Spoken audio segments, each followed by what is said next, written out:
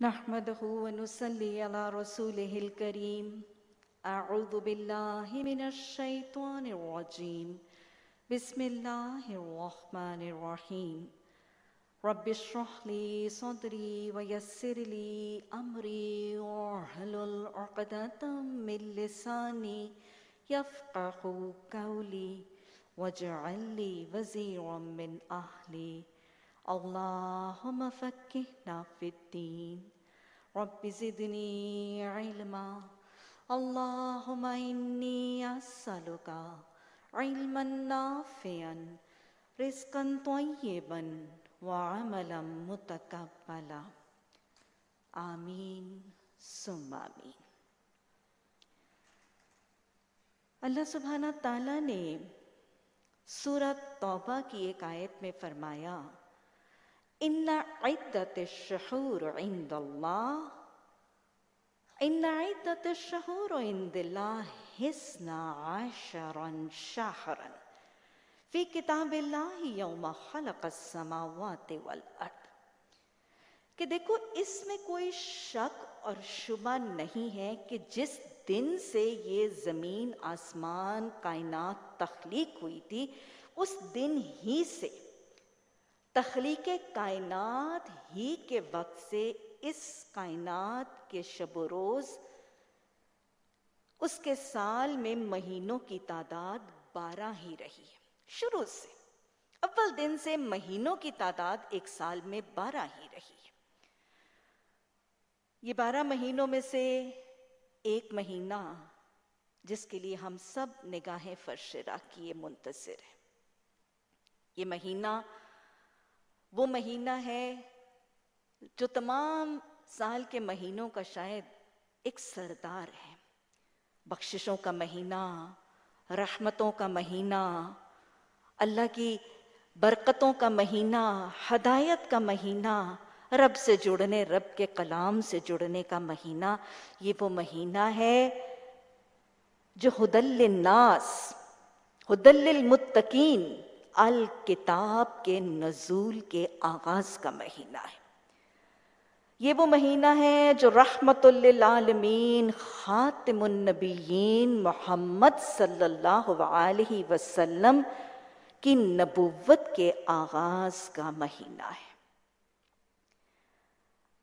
رمضان المبارک پر جب بات، تو اس بات کا آغاز اس مہینے کی فضیلت کو دوبارہ دہرانے کے لیے میں رسول اللہ صلی اللہ علیہ وسلم ہی کا وہ مسنون خطبہ جو آپ صلی اللہ علیہ وسلم رمضان سے پہلے شعبان کے مہینے میں ارشاد فرمایا آپ نے، میں اسی کے ساتھ رمضان کی فضیلت کا تذکرہ کروں گی۔ تاکہ ایک تو اس مہینے کی فضیلت ہم اپنے ذہنوں میں دہرا لیں اور دوسرا، رسول رحمت صلی اللہ علیہ وسلم کے ایک سنت کو تازہ کرنے اور اس کو دہرانے کا اجر بھی ہم سمیٹ لیں۔ کیونکہ یاد رکھیے گا رمضان سے پہلے یہ بات پلے سے باندھ لیجیے کہ ایک سنت کو، ایک سنت کو تازہ کرنا سو شہیدوں کا اجر دینے والا ہے۔ تو یہی شعبان المبارک کا خطبہ۔ نبی صلی اللہ علیہ وسلم نے اس مہینے کا تعارف کرتے ہوئے فرمایا، لوگوں اور لوگوں سے مراد اس زمانے کے لوگ نہیں، ہم سب بھی ہیں۔ لوگوں، تم پر ایک بابرکت مہینہ آنے والا ہے۔ اللہ سبحانہ تعالیٰ اس مہینے میں لوگوں کو اپنی رحمتوں سے ڈھانپ لیتے ہیں۔ لوگوں کے گناہ بخش دیتے ہیں۔ لوگوں کی دعائیں قبول کرتے ہیں۔ سب کا ذوق و شوق دیکھتے ہیں۔ اور پھر اپنے بندوں پر اپنے فرشتوں میں فخر کرتے ہیں۔ اور پھر آپ نے تاکید فرمائی، لہٰذا تم بھی اس مہینے میں اپنے رب کو اپنی طرف سے بھلائی ہی دکھاؤ۔ اور پھر آپ نے یہ بھی متنبع کر دیا، بدترین محروم ہے وہ شخص۔ بدترین محروم ہے وہ شخص جو اس مہینے کو پاتا ہے اور اس کی رحمتیں اور اس کی بخششیں سمیٹنے سے محروم رہ جاتا ہے۔ اللہ ہمیں ان بدترین محروموں میں سے نہ بنائے۔ اللہم لا تجعلنا منہم۔ اسی طرح رسول اللہ صلی اللہ علیہ وسلم نے اسی مہینے کا تعارف کرتے ہوئے ایک اور حدیث مبارکہ میں فرمایا کہ رمضان کی پہلی ہی رات رمضان کی پہلی ہی رات میں سارے سرکش جنات اور شیاطین جکڑ دیے جاتے ہیں، جنت کے سارے دروازے کھول دیے جاتے ہیں، کوئی ایک دروازہ بھی بند نہیں رہ جاتا، جہنم کے سارے دروازے بند کر دیے جاتے ہیں، کوئی ایک دروازہ بھی کھلا نہیں رہ جاتا۔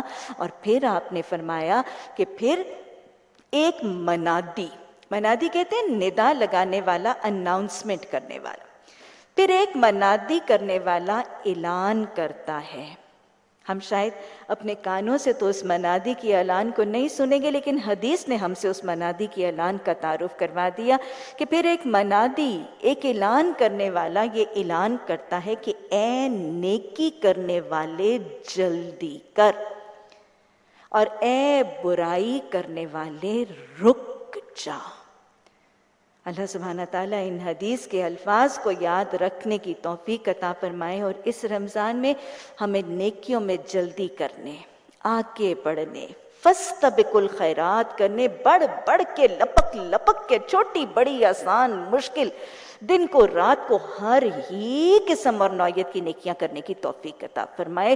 اور جب وہ وہ الفاظ ہمارے ذہن میں گونجیں کہ برائی کرنے سے رک جا تو اللہ سبحانہ تعالیٰ اس رمضان المبارک میں ہمیں ہر ہی برائی اور شر سے بچنے کی توفیق عطا فرما۔ اور پھر حدیث نے اس مہینے کے لیے یہ بھی تعارف فرمایا کہ اللہ سبحانہ تعالیٰ اس مہینے میں جنت کو اپنے ہاتھوں سے مزین یعنی سجاتے ہیں۔ اور پھر اس جنت سے مخاطب ہو کر فرماتے ہیں کہ میرے بندے میرے بندے نیکیاں کر کے مجھے راضی کرنے کے کام کر کے تیرے پاس آئیں گے۔ اللہ ہمیں ان میں سے بنا دے۔ اللہ رب کی رضا کے کام ہمارے لیے اس رمضان میں بہت ہی سہل اور آسان بنا دے۔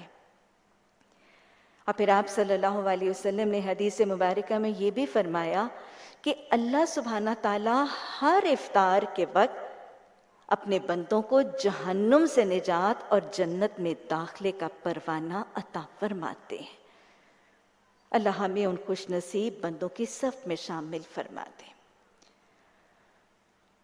تو یہ تو میری بہنوں، یہ بابرکت مہینہ۔ جو پچھلے سال بھی ہم پر سایہ فگن ہوا۔ اور اگر میں اب بیٹھ کر دیکھتی ہوں تو مجھے just looking back in to time مجھے ایسا لگتا ہے کہ شاید یہ جو پچھلا رمضان کا مہینہ گزرا، یہ ابھی گزرا تھا۔ اور میں اگر پیچھے دیکھتی ہوں تو مجھے یوں لگتا ہے کہ بس ابھی کی بات ہے کہ ہم قرآن اپنے ہاتھوں میں پکڑے، تھامے ہوئے، دوڑتے ہوئے میری ساری بہنیں ہم ہم آتے تھے، اپنی اپنی نشستوں میں بیٹھتے تھے، قرآن کو سنتے تھے، ایمان کا بہت سا خزانہ سمیٹ کر ہم اپنے اپنے گھروں کو واپس روانہ ہوتے تھے۔ کیا خیال ہے یہ ابھی نہیں لگ رہا؟ کچھ ہی دیر کی بات ہے کہ ابھی پچھلا رمضان گزرا تھا اور پلک جھپکتے میں گزر گیا۔ اور اگر میں سوچوں تو مجھے بالکل یہی لگ رہا ہے کہ پھر اس رمضان کے بعد آنے والا وہ سال ایسے لگتا ہے کہ وہ پر لگا کے اڑ گیا۔ کتنی دیر لگتی ہے؟ بہت زیادہ وقفہ۔ پچھلا رمضان لگتا ہے ابھی آیا تھا اور فوراً گزر گیا تھا۔ اور اس رمضان کے بعد سال بھی لگتا ہے کہ پر لگا کے اڑ گیا اور گزر گیا۔ اور الحمدللہ آج ہم آنے والے رمضان کے دروازے پر دستک دے رہے ہیں۔ منتظر ہیں۔ اور یہ یقین رکھیے گا یہ رمضان کا مہینہ جس کو جس کو اللہ کے کلام میں ایام معدودات کہا گیا ہے، یہ رمضان کا مہینہ شاید پچھلے رمضان سے بھی جلدی اڑ جائے گا۔ اتنی جلدی گزر جائے گا کہ شاید ہمیں علم بھی نہیں ہوگا۔ وقت بہت تیزی سے گزر رہا ہے اور گزرتا جا رہا ہے۔ کیا خیال ایسا نہیں ہے؟ گزرتے ہوئے وقت کا احساس ہمیں بس اوقات نہیں ہوتا۔ لیکن گزرتے ہوئے وقت کا احساس بہت دفعہ ہمیں اپنے بالوں کی بڑھتی ہوئی سفیدی سے ہوتا ہے۔ اپنے بھوک کے گھٹ جانے سے اور اپنی نیند کے گھٹ جانے سے ہوتا ہے یا اپنے جوڑوں کی دردوں کے بڑھ جانے سے ہوتا ہے۔ اور یا اس گزرتے ہوئے تیزی سے جلدی سے گزرتے ہوئے وقت کا احساس، شاید بس اوقات اپنی زندگی کے مہو سال کے گزرنے کا احساس ہمیں اپنے ارد گرد ان چھوٹے چھوٹے بچوں کو جوان ہو کر دیکھتے ہوئے ہوتا ہے۔ بہت تیزی سے گزرتا ہے وقت۔ گزر گیا اور گزر رہا ہے اور گزر جائے گا۔ اگر میں اور آپ سوچیں تو آپ سب پر یہ احساس ہوگا کہ ابھی کل کی بات ہے کہ ہم اسکول کالج جاتے تھے۔ ایسا نہیں ہے؟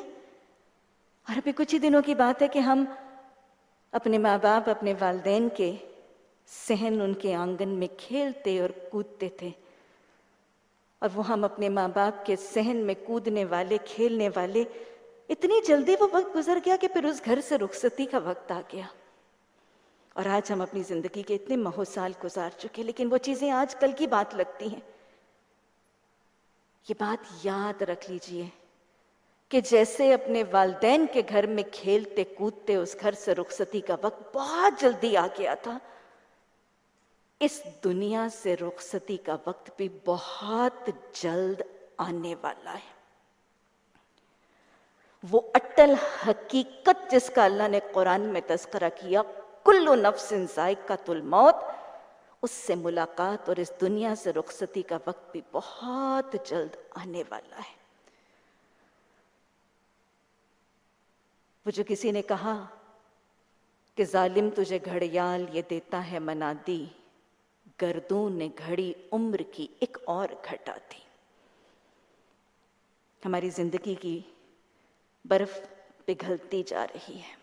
شاید بس اوقات ہم اس چیز کو بھول تو جاتے ہیں، لیکن ہماری زندگی کی برف پگھلتی جا رہی ہے اور بڑی تیزی سے پگھل رہی ہے۔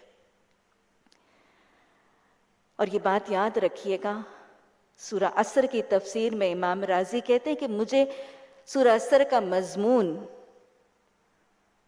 والعصر ان الانسان لفی خسر کے زمانے اور گزرتے ہوئے زمانے اور گزرے ہوئے زمانے کی قسم ہے کہ انسان خسارے میں ہے، سوائے ان کے کہ وہ لوگ جو چار کام کریں۔ امام راضی کہتے ہیں کہ مجھے تو سورہ اثر کا مضمون ایک برف فروش کی ندا سن کر سمجھ آیا۔ جو کیا ندا لگا رہا تھا، کیا پکار رہا تھا وہ برف فروش؟ خدایا، ترس کرو اس شخص پر جس کی زندگی کا سرمایہ پگھل رہا ہے۔ ہماری زندگی کی برف بھی پگھل رہی ہے اور تیزی سے قطرہ قطرہ کر کے پگھلتی جا رہی ہے۔ کامیاب وہ ہوگا جو اس برف کے پگھلنے سے پہلے پہلے اس کا سودا کر لے۔ جس کی برف پگھل گئی اور اس نے سودا نہیں کیا، وہ ناکام اور نامراد ہو جائے گا۔ وہ خسارے سے دو چار ہو جائے گا۔ کون سا ہے وہ سودا؟ اللہ سبحانہ تعالیٰ نے قرآن میں سودے کا تذکرہ کیا ہے نا؟ ان اللہ ان اللہ حشترا من المؤمنین بانفسہم واموالہم بان لہم الجنہ۔ کہ اس میں کوئی شک ہی نہیں کہ اللہ سبحانہ تعالیٰ نے سودا کر لیا ہے مومنوں سے ان کی جانوں کا اور مال کا بھی ان لہم الجنہ۔ بدلے میں کس چیز کے؟ جنت کے بدلے۔ اللہ سبحانہ تعالیٰ سے جھولیاں پھیلا کر دعا ہے کہ اللہ سبحانہ تعالیٰ یہ مہینہ ہی جو جنت کے حصول کا مہینہ ہے۔ اللہ سبحانہ تعالیٰ اس جنت کے حصول کے مہینے میں ہمیں اپنے تن، من، دھن، اپنی جانوں، اپنے مالوں کے ساتھ اس رمضان میں یہ سودا چکانے کی توفیق عطا فرما دے۔ اور اللہ اپنے تن، من، دھن میں سے جو پیش کریں اللہ تو اللہ تو بڑا ہی کرم کرنے والا ہے، اللہ اس کو قبول بھی کر لینا۔ تو میری بہنوں، میری بیٹیوں، یہ وقت تو زندگی کا گزر رہا ہے اور گزرتا چلا جا رہا ہے اور جلدی گزر بھی جائے گا۔ میرا خیال ہے، آپ سبھی جانتے ہیں کہ گزرتے ہوئے وقت کے حساب سے ہماری زندگی کو ہم گرامیٹیکلی تین ادوار میں، تین دوروں میں تقسیم کرتے ہیں۔ کون سے ہیں وہ تین دور؟ گزرا ہوا وقت ماضی۔ گزرتا ہوا وقت حال اور آنے والا وقت مستقبل۔ ماضی، حال، مستقبل ہماری زندگی کے تین دور ہیں۔ ہر ایک زندگی کے، ہر شخص کی زندگی کے یہ تین دور ہیں۔ Past present and a future اور یہ بھی ایک اٹل حقیقت ہے کہ ان تینوں ادوار میں سب سے ہمارے ماضی میں بھی گناہ ہوئے اب بھی ہو رہے ہیں اور مستقبل میں بھی ہونے کا بھرپور امکان ہے۔ ہم خطاؤں کے پتلے خطا ہماری سرشت ہے۔ ماضی میں بھی ہوئے، حال میں بھی ہو رہے ہیں اور مستقبل میں بھی ہوں گے۔ تو کیا جب یہ گناہ ہوتے رہے ہیں، ہوں، ہو رہے ہیں اور ہونے کا بھی امکان ہے، تو پھر کیا کریں؟ کیا مایوس ہو کے بیٹھ جائیں؟ کیا نا امید ہو کے بیٹھ جائیں؟ کہ اب اب تو جنت میں جانے کا امکان نہیں ہے اور اب تو ضروری واصل پہ جہنم ہونے کا معاملہ ہے۔ کیا خیال ہے؟ مایوس ہو جائے مایوسی کفر ہے۔ نا امید ہونا اللہ سبحانہ تعالیٰ نے اس سے منع کیا ہے۔ یہ منفی اور نیگٹو سوچ اور رویہ پیدا کرنے کا طریقہ ہے۔ یہ بات یاد رکھیے گا کہ ایک شخص کلمہ پڑھنے کے بعد اللہ کو مان کر اللہ کی ماننے اور اللہ کو پہچان لینے کے بعد ایک قرآن کا طالب علم، ایک مسلمان، ایک مومن، اس کی زندگی میں منفی یا نیگٹو رویہ اور سوچ نہیں ہوتی۔ ایک مسلمان، ایک قرآن کے طالب علم کی زندگی میں اس کا رویہ پازیٹو ہوتا ہے پازیٹو اور مثبت ہوتا ہے۔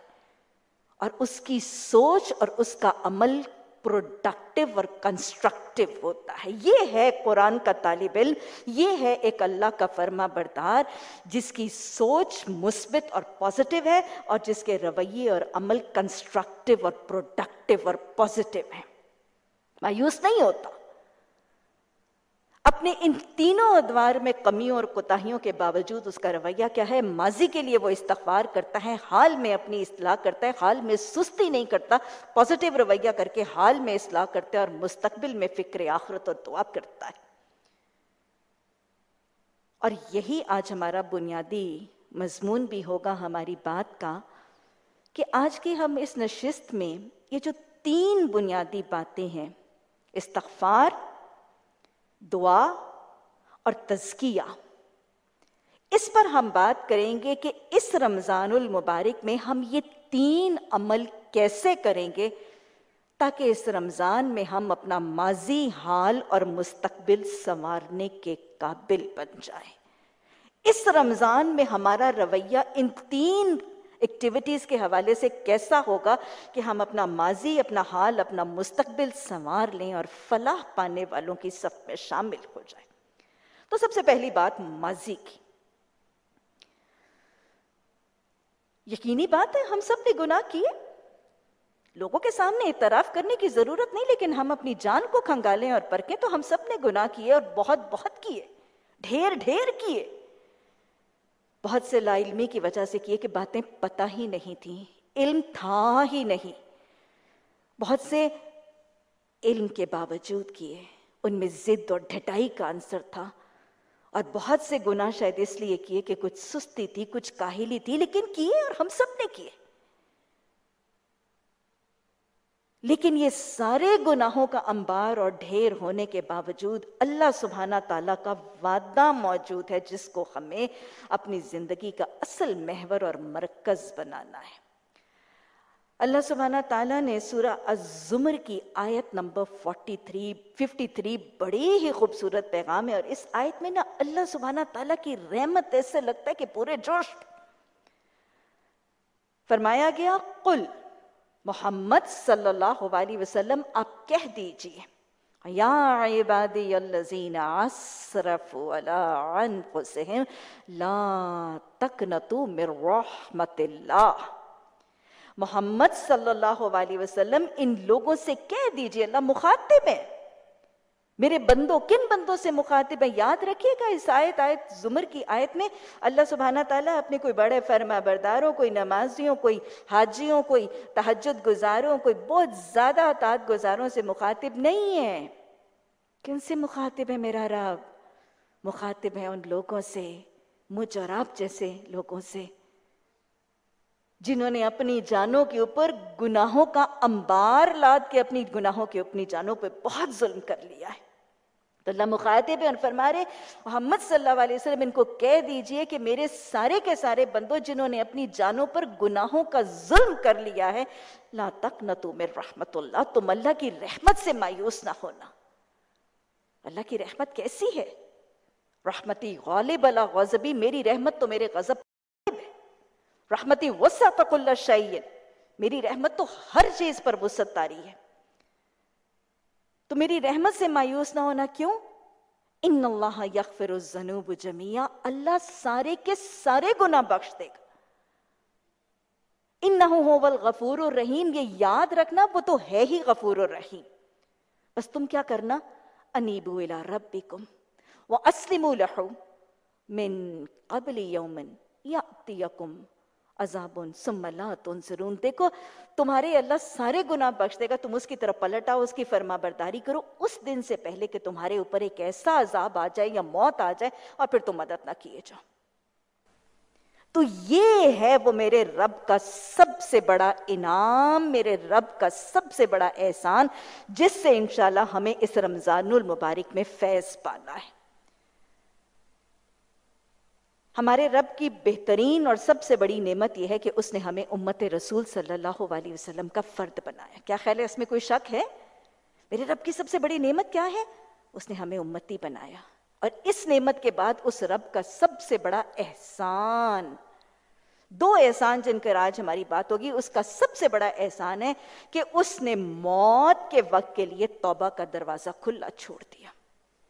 اس نعمت کے بعد میرے رحمان، میرے رحیم، رب کا سب سے بڑا کرم اور رحم یہ ہے کہ اس نے توبہ کا دروازہ موت کے وقت تک کھلا چھوڑ دیا۔ محمد صلی اللہ علیہ وسلم نے حدیث مبارکہ میں فرمایا، حضرت عبداللہ بن عمر رضی اللہ تعالی ان کی روایت سے حدیث ہے، ان اللہ یقبل التوبہ، ان اللہ یقبل التوبت العبدی ما لم یغرغر اللہ سبحانہ تعالیٰ اس میں شک نہیں ہے کہ اپنے بندے کی توبہ اس وقت تک قبول کرتا ہے جب تک موت کی غر غر یعنی موت کی ہجکی نہیں آ جاتی۔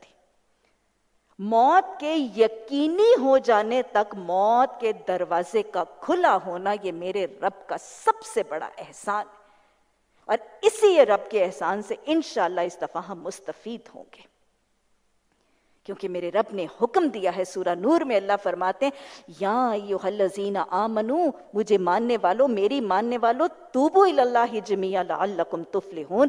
تم سب اللہ کی طرف توبہ کرو اگر تم فلاح چاہتے ہو۔ اس دنیا میں، موت میں، قبر میں، حشر میں پلسرات میں، زندگی کے اور زندگی کے بعد کے سارے محلوں میں کامیابی چاہتے ہو، فلاح چاہتے ہو، نقصان اور خسارے سے بچنا چاہتے ہو، تو اللہ کی طرف توبہ کرو۔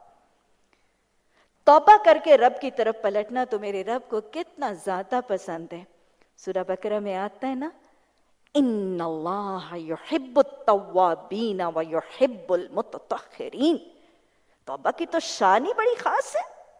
استغفار کرنے والے، توبہ کر کے رب کی طرف پلٹنے والے تو ایسے ہیں کہ اس میں کوئی شک ہی نہیں کہ اللہ سبحانہ تعالیٰ کو جو محبوب لوگ ہیں، وہ وہ لوگ ہیں جو ایک تو پاک صاف ستھرے رہتے ہیں اور دوسرے گناہوں سے بخشش طلب کر کے توبہ کر کے بھی اپنے دامن کو گناہوں سے صاف کرتے ہیں۔ اللہ کی محبت مل جاتی ہے اس شخص کو، فلاح مل جاتی ہے اس شخص کو جو کثرت سے توبہ اور استغفار کو اپنے لیے اپنا لیتا ہے۔ اللہ سبحانہ تعالیٰ نے قرآن میں اس کے برخلاف یہ بھی بتایا، وَمَن لَمْ يَتُبْ فَأُولَائِكَ هُمُ الظَّالِمُونَ۔ جو لوگ توبہ نہیں کرتے نا، وہ لوگ تو بڑے ظالم ہیں۔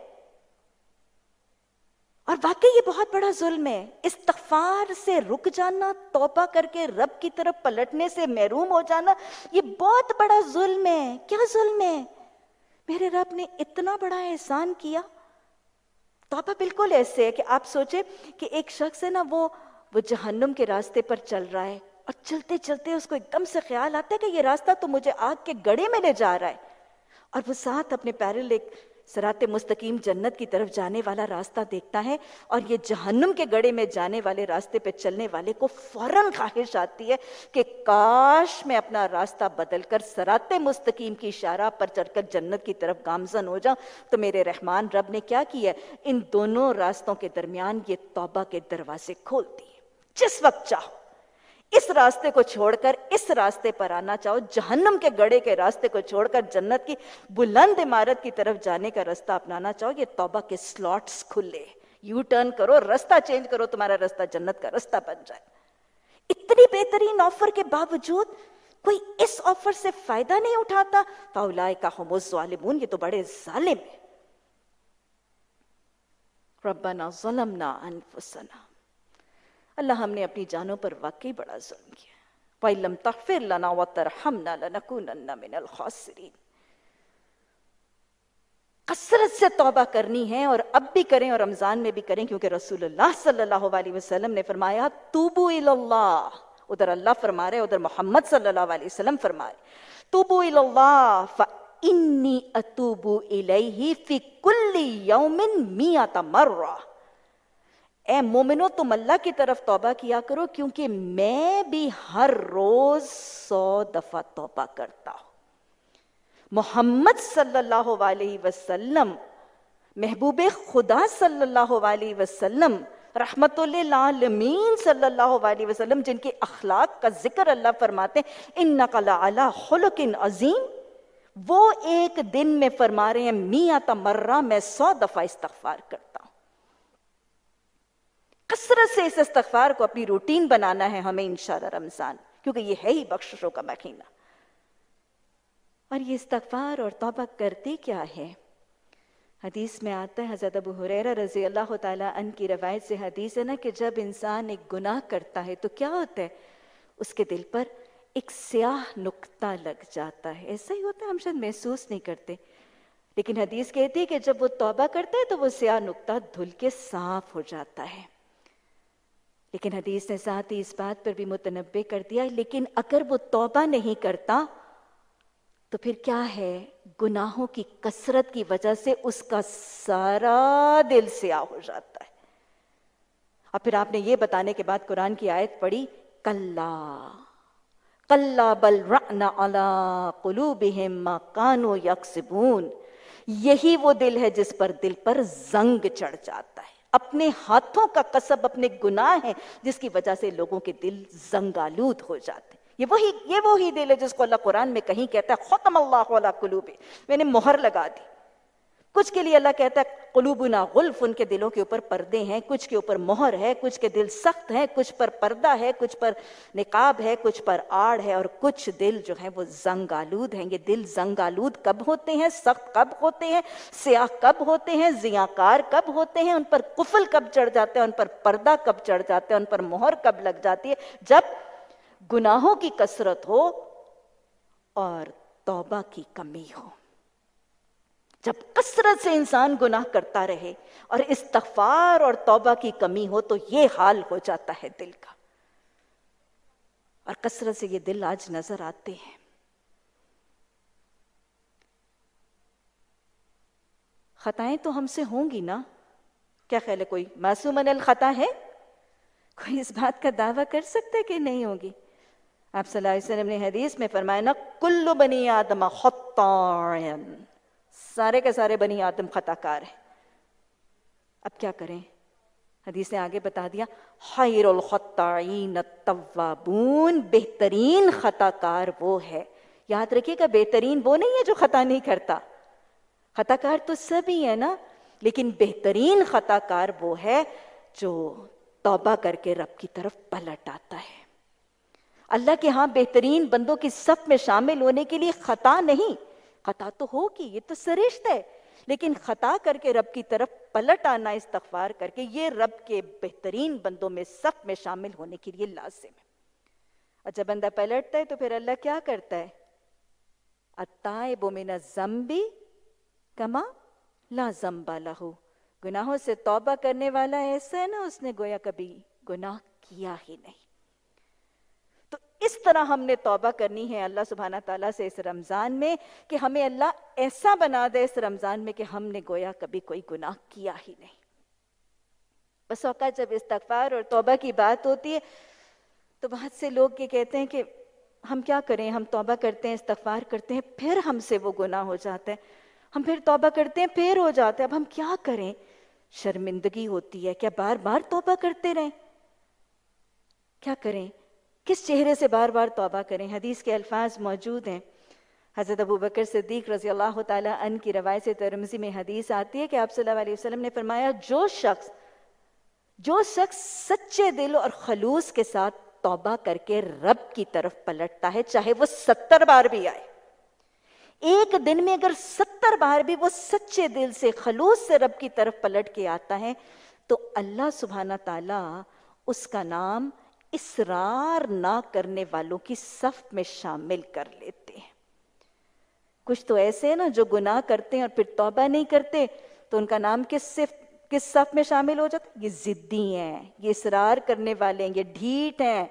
یہ نہ ٹھیک ہوتے ہیں، نہ توبہ کرتے ہیں۔ لیکن جو غلطی کر کے پھر توبہ کر کے پلٹتا ہے، پھر غلطی کر کے پھر توبہ کرنے کے لیے پلٹتا ہے، چاہے وہ دن میں ستر بار بھی یہ عمل کرے، تو حدیث میں آتا ہے کہ پھر اللہ سبحانہ تعالیٰ اس کا نام اسرار نہ کرنے والوں کی صف میں شامل کر لیتے ہیں۔ اور یہ مومنوں کی صفت ہے لم یسروا علامہ فعلو وہم یعلمون۔ اللہ ہمیں زد سے ڈھٹائی سے، تکبر سے، انانیت سے بچ کر کثرت سے استغفار کر کے اصلاح کے راستے پر چلنے کی توفیق عطا فرمانا میرا رب بڑا غفور رحیم ہے۔ اللہ نے قرآن میں فرمایا نا نبے عبادی نبے عبادی انی انا الغفور الرحیم، میرے بندوں کو خبر دے دو، میں تو بہت زیادہ بخشنے والا ہوں۔ بس اوقات جب استغفار کی بات ہوتی ہے اور ان تمام چیزوں کا تذکرہ ہوتا ہے تو لوگ لوگ یہی کہتے ہیں نا کہ نہیں، یہ کہہ تو رہی ہیں، یہ بتانے والے بتا تو رہے ہیں، تو آئیڈیل سی سچویشن ہے، ان کو نہیں پتا میں کیا کیا کر کے آئی ہوں۔ ان کو نہیں پتا میں نے کتنے فساد کیے، میں نے کتنے فتنے کیے۔ ان کو نہیں پتا میری زبان نے کیا کیا آفتیں ڈھائیں۔ بس اوقات یہ دل میں خیال آتا ہے یہ بخشش کی بات تو کر رہی ہیں، کہہ تو رہی ہیں، بتا تو رہی ہیں کہ اللہ سارے بخش دے گا۔ ان کو پتہ ہی نہیں میں کیا چا، کیا سیاہ چہرے کے ساتھ میں اپنے چہرے کو چھپائے ہوئے ہوں۔ ان کو نہیں پتا۔ حدیث کے الفاظ ہیں نا۔ اللہ سبحانہ تعالیٰ فرماتے ہیں وہ رحمان، رب فرماتے کہ اے میرے بندے، تو نے مجھ سے امید ہی نہ کی۔ اے میرے بندے، تو نے مجھ سے امید ہی نہ کی۔ تو جتنے چاہے گناہ لے کر آتا، مجھ سے بخشش طلب کرتا، میں تیرے سارے گناہ بخش دیتا۔ اگر تیرے گناہ زمین سے لے کے آسمان کی چھت تک ہوتے اور تو مجھ سے گناہوں کی بخشش طلب کرتا، میں تیرے سارے بخش دیتا۔ اگر تو روئے بھر زمین کے گناہ لے کر بھی میرے پاس آتا یعنی ساری دنیا کے گناہ گاروں کے گناہ بھی اکٹھے کر کے تیرے گناہ جتنے ہوتے، اور تو وہ ساری دنیا کی زمین کے گناہوں کے برابر گناہ میرے پاس لے کر آتا، تو بھی میں تیرے سارے گناہ بخش دیتا، اور میری حکومت میں کوئی فرق نہ آتا۔ یہ ہے اس بخش دینے والے کی صفت اور اس کی سرشت۔ جتنے لے جائیں گے، جیسے لے جائیں گے، جب لے جائیں گے، بس جھولی پھیلا کے رو کے دعا مانگیں گے، وہ سارے بخش دے گا۔ حدیث کے الفاظ موجود ہیں کہ جو شخص اس بات پر ایمان لے آیا کہ میں بخشنے پر قادر ہوں، ٹٹولیں اپنے دلوں کو، ہے ایمان؟ قرآن میں غفور، غفار، غافر الزم قابل الطوب سب الفاظ پڑھتے ہیں، ایمان ہے کہ رب بخشنے پر قادر ہے، اور وہ بخشتا ہے۔ پلٹنے والوں کو وہ اپنا بنا لیتا ہے، اپنے ساتھ جوڑ دیتا ہے۔ تو جو شخص اس بات پر ایمان لے آیا کہ میں بخشنے پر قادر ہوں، میں اس کے سارے گناہ بخش دیا کرتا اس ایمان کے ساتھ بخشش مانگیں گے تو وہ رب بخشے گا۔ ارے، اس رب نے تو بخش دیا تھا زانیوں کو، قاتلوں کو۔ کیا خیال ہے وہ سو قاتل، سو لوگوں کے قاتل کو جب اس نے توبہ کر کے اپنی بستی کو چھوڑ کے اصلاح کے لیے نکلا تھا، تو رب نے اس اس سو لوگوں کے قاتل کو بخش دیا تھا۔ زانی بخش دیے گئے رسول اللہ صلی اللہ علیہ وسلم اور ساتھیوں کے خلاف قتل کی سازشیں کرنے والے بخش دیے گئے۔ کیا میں اور آپ نہیں بخشے جائیں گے؟ یقین کے ساتھ اور یکسوئی کے ساتھ انشاءاللہ جب ہم رب کی طرف پلٹیں گے تو یہ انبیاء کا شیوا ہے۔ بخشش مانگنا، اللہ کی طرف توبہ کر کے پلٹنا، یہ انبیاء کا شیوا ہے۔ اور اس سے رکے رہنا اور اس سے کٹے رہنا یہ شیطان کا طریقہ ہے۔ شیطان نے کیا کیا تھا؟ شیطان نے کیا کیا تھا؟ اللہ کی نافرمانی، اللہ کی سرکشی اور سرکشی کے بعد وہ زد اور ڈٹائی سے جم گیا تھا نا؟ تکبر اور انانیت اور گھمنڈ کا شکار ہو گیا تھا نا؟ اور پھر اس نے کیا کہا تھا؟ اس نے اپنے گناہ کا الزام ناؤز باللہ سما ناؤز باللہ، اللہ سبحانہ تعالیٰ کے زمرے ڈال دیا تھا۔ کیا ہوا تھا ایسے توبہ سے رکنے والے کو؟ اللہ نے کیا کہا تھا؟ اتنا عبادت گزار تھا کہ فرشتوں کا ہم نشین تھا، لیکن اپنی اس توبہ کی کمی کی وجہ سے فخرج منہا، جنت سے نکال دیا گیا تھا۔ مظوم مدحورا لانت زدہ بنا دیا گیا تھا۔ شیطان رجیم مردود بنا دیا گیا تھا۔ تو کسرت سے توبہ کرنی ہے۔ اور کسرت سے اس رمضان میں استغفار کا طریقہ اپنانا ہے۔ استغفار پر بات کا خاتمہ کرنے سے پہلے میں یہ بات بتاتی چلوں کہ استغفار کرتے کیسے ہیں۔ بس اوقات لوگوں کو یہ بات اور یہ طریقہ ہی نہیں آتا، لوگ کہتے ہیں آپ اتنے استغفار پر بات کر رہی تھی مجھے بتائیں کہ استغفار کرتے کیسے ہیں؟ کیا کیا کریں؟ کیسے مانگے اللہ سے بخشش؟ بہت سادہ ہے، ہمارا دین بہت آسان ہے، بہت سہل ہے، کوئی مشقت نہیں۔ استغفار کا طریقہ، عیسائیوں کے لیے تو بہت مشکل ہے، دوسرے مذاہب کے لیے بہت مشکل ہے، ہمارے دین میں بہت ہی آسان ہے، کسی ایک وقت۔ فرصت کے لمحات میں رات کو سونے سے پہلے، دن کے نماز کے بعد، کسی ایک وقت۔ ذرا فارغ وقت میں اکیلے بیٹھ جائیے۔ تنہائی میں بیٹھ جائیے اپنے ماضی اور اپنے حال کا۔ ذرا اچھا سا سیلف آڈٹ کر لیجیے۔ اپنے عمل، اپنے رویے، اپنے اخلاق، اپنے معاملات، اپنی سوچیں، اپنی ڈیلنگز ان سب کا محاسبہ کریں، کھنگالیں اپنے صبح شام کو۔ بے لاگ محاسبہ کریں اور کڑا محاسبہ کریں، آپ کو بہت سی خطائیں، بہت سے بہت سی کمیاں، بہت سی کوتاہیں نظر آئیں گی۔ ان کو مان لیجیے۔ اعتراف کر لیجیے کہ ہاں میں نے یہ کمی کی ہے۔ ہاں میں یہ نافرمانی کرتی ہوں۔ ہاں میں نے یہ سرقشی کی ہے۔ ہاں میں نے اللہ کے احکامات کی یہ نافرمانی کی ہے۔ مان لیجیے۔ پہلے محاسبہ، محاسبے کے بعد اعتراف کنفیشن ایکسیپٹنس کہ ہاں میں نے کیا ہے۔ اپنے آپ کو جسٹیفائی مت کیجیے گا۔ اپنے آپ کو کور مت کیجیے گا۔ اپنے گناہ کا الزام کسی اور پر مت تھوپیے گا۔ یہ شیطان کا رویہ ہے۔ کنفیس اینڈ ایکسیپٹ ہاں میں نے کیا ہے۔ Be bold enough to accept اور ماننے کے بعد پھر نادم ہو جائیں۔ پھر پشیمان ہو جائیں۔ شرمندگی کس رب کے مقابلے میں میں نے یہ عمل کر لیا؟ اور بس پھر کچھ بھی کرنے کی ضرورت نہیں۔ بس پھر جھولی پھیلا دیجیے۔ کپڑا گندا ہوتا ہے تو کیسے صاف کرتے ہیں؟ پانی سے دھو کے صاف کرتے ہیں؟ دامن گناہوں کے دبوں سے گندا ہے، کیسے صاف کریں گے؟ آنسو آنسو بہا کے صاف کریں گے۔ جھولی پھیلا دیجیے۔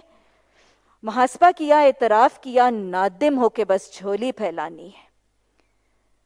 اللہ کے حضور ہاتھ اٹھا کے کہنا ہے کہ اللہ مجھ سے ہو گیا۔ اللہ میں نے یہ کمی کر دی، میں نے یہ خطا کر دی۔ مجھ سے یہ نافرمانی سرزد ہو گئی، تو رحمان ہے، تو رحیم ہے۔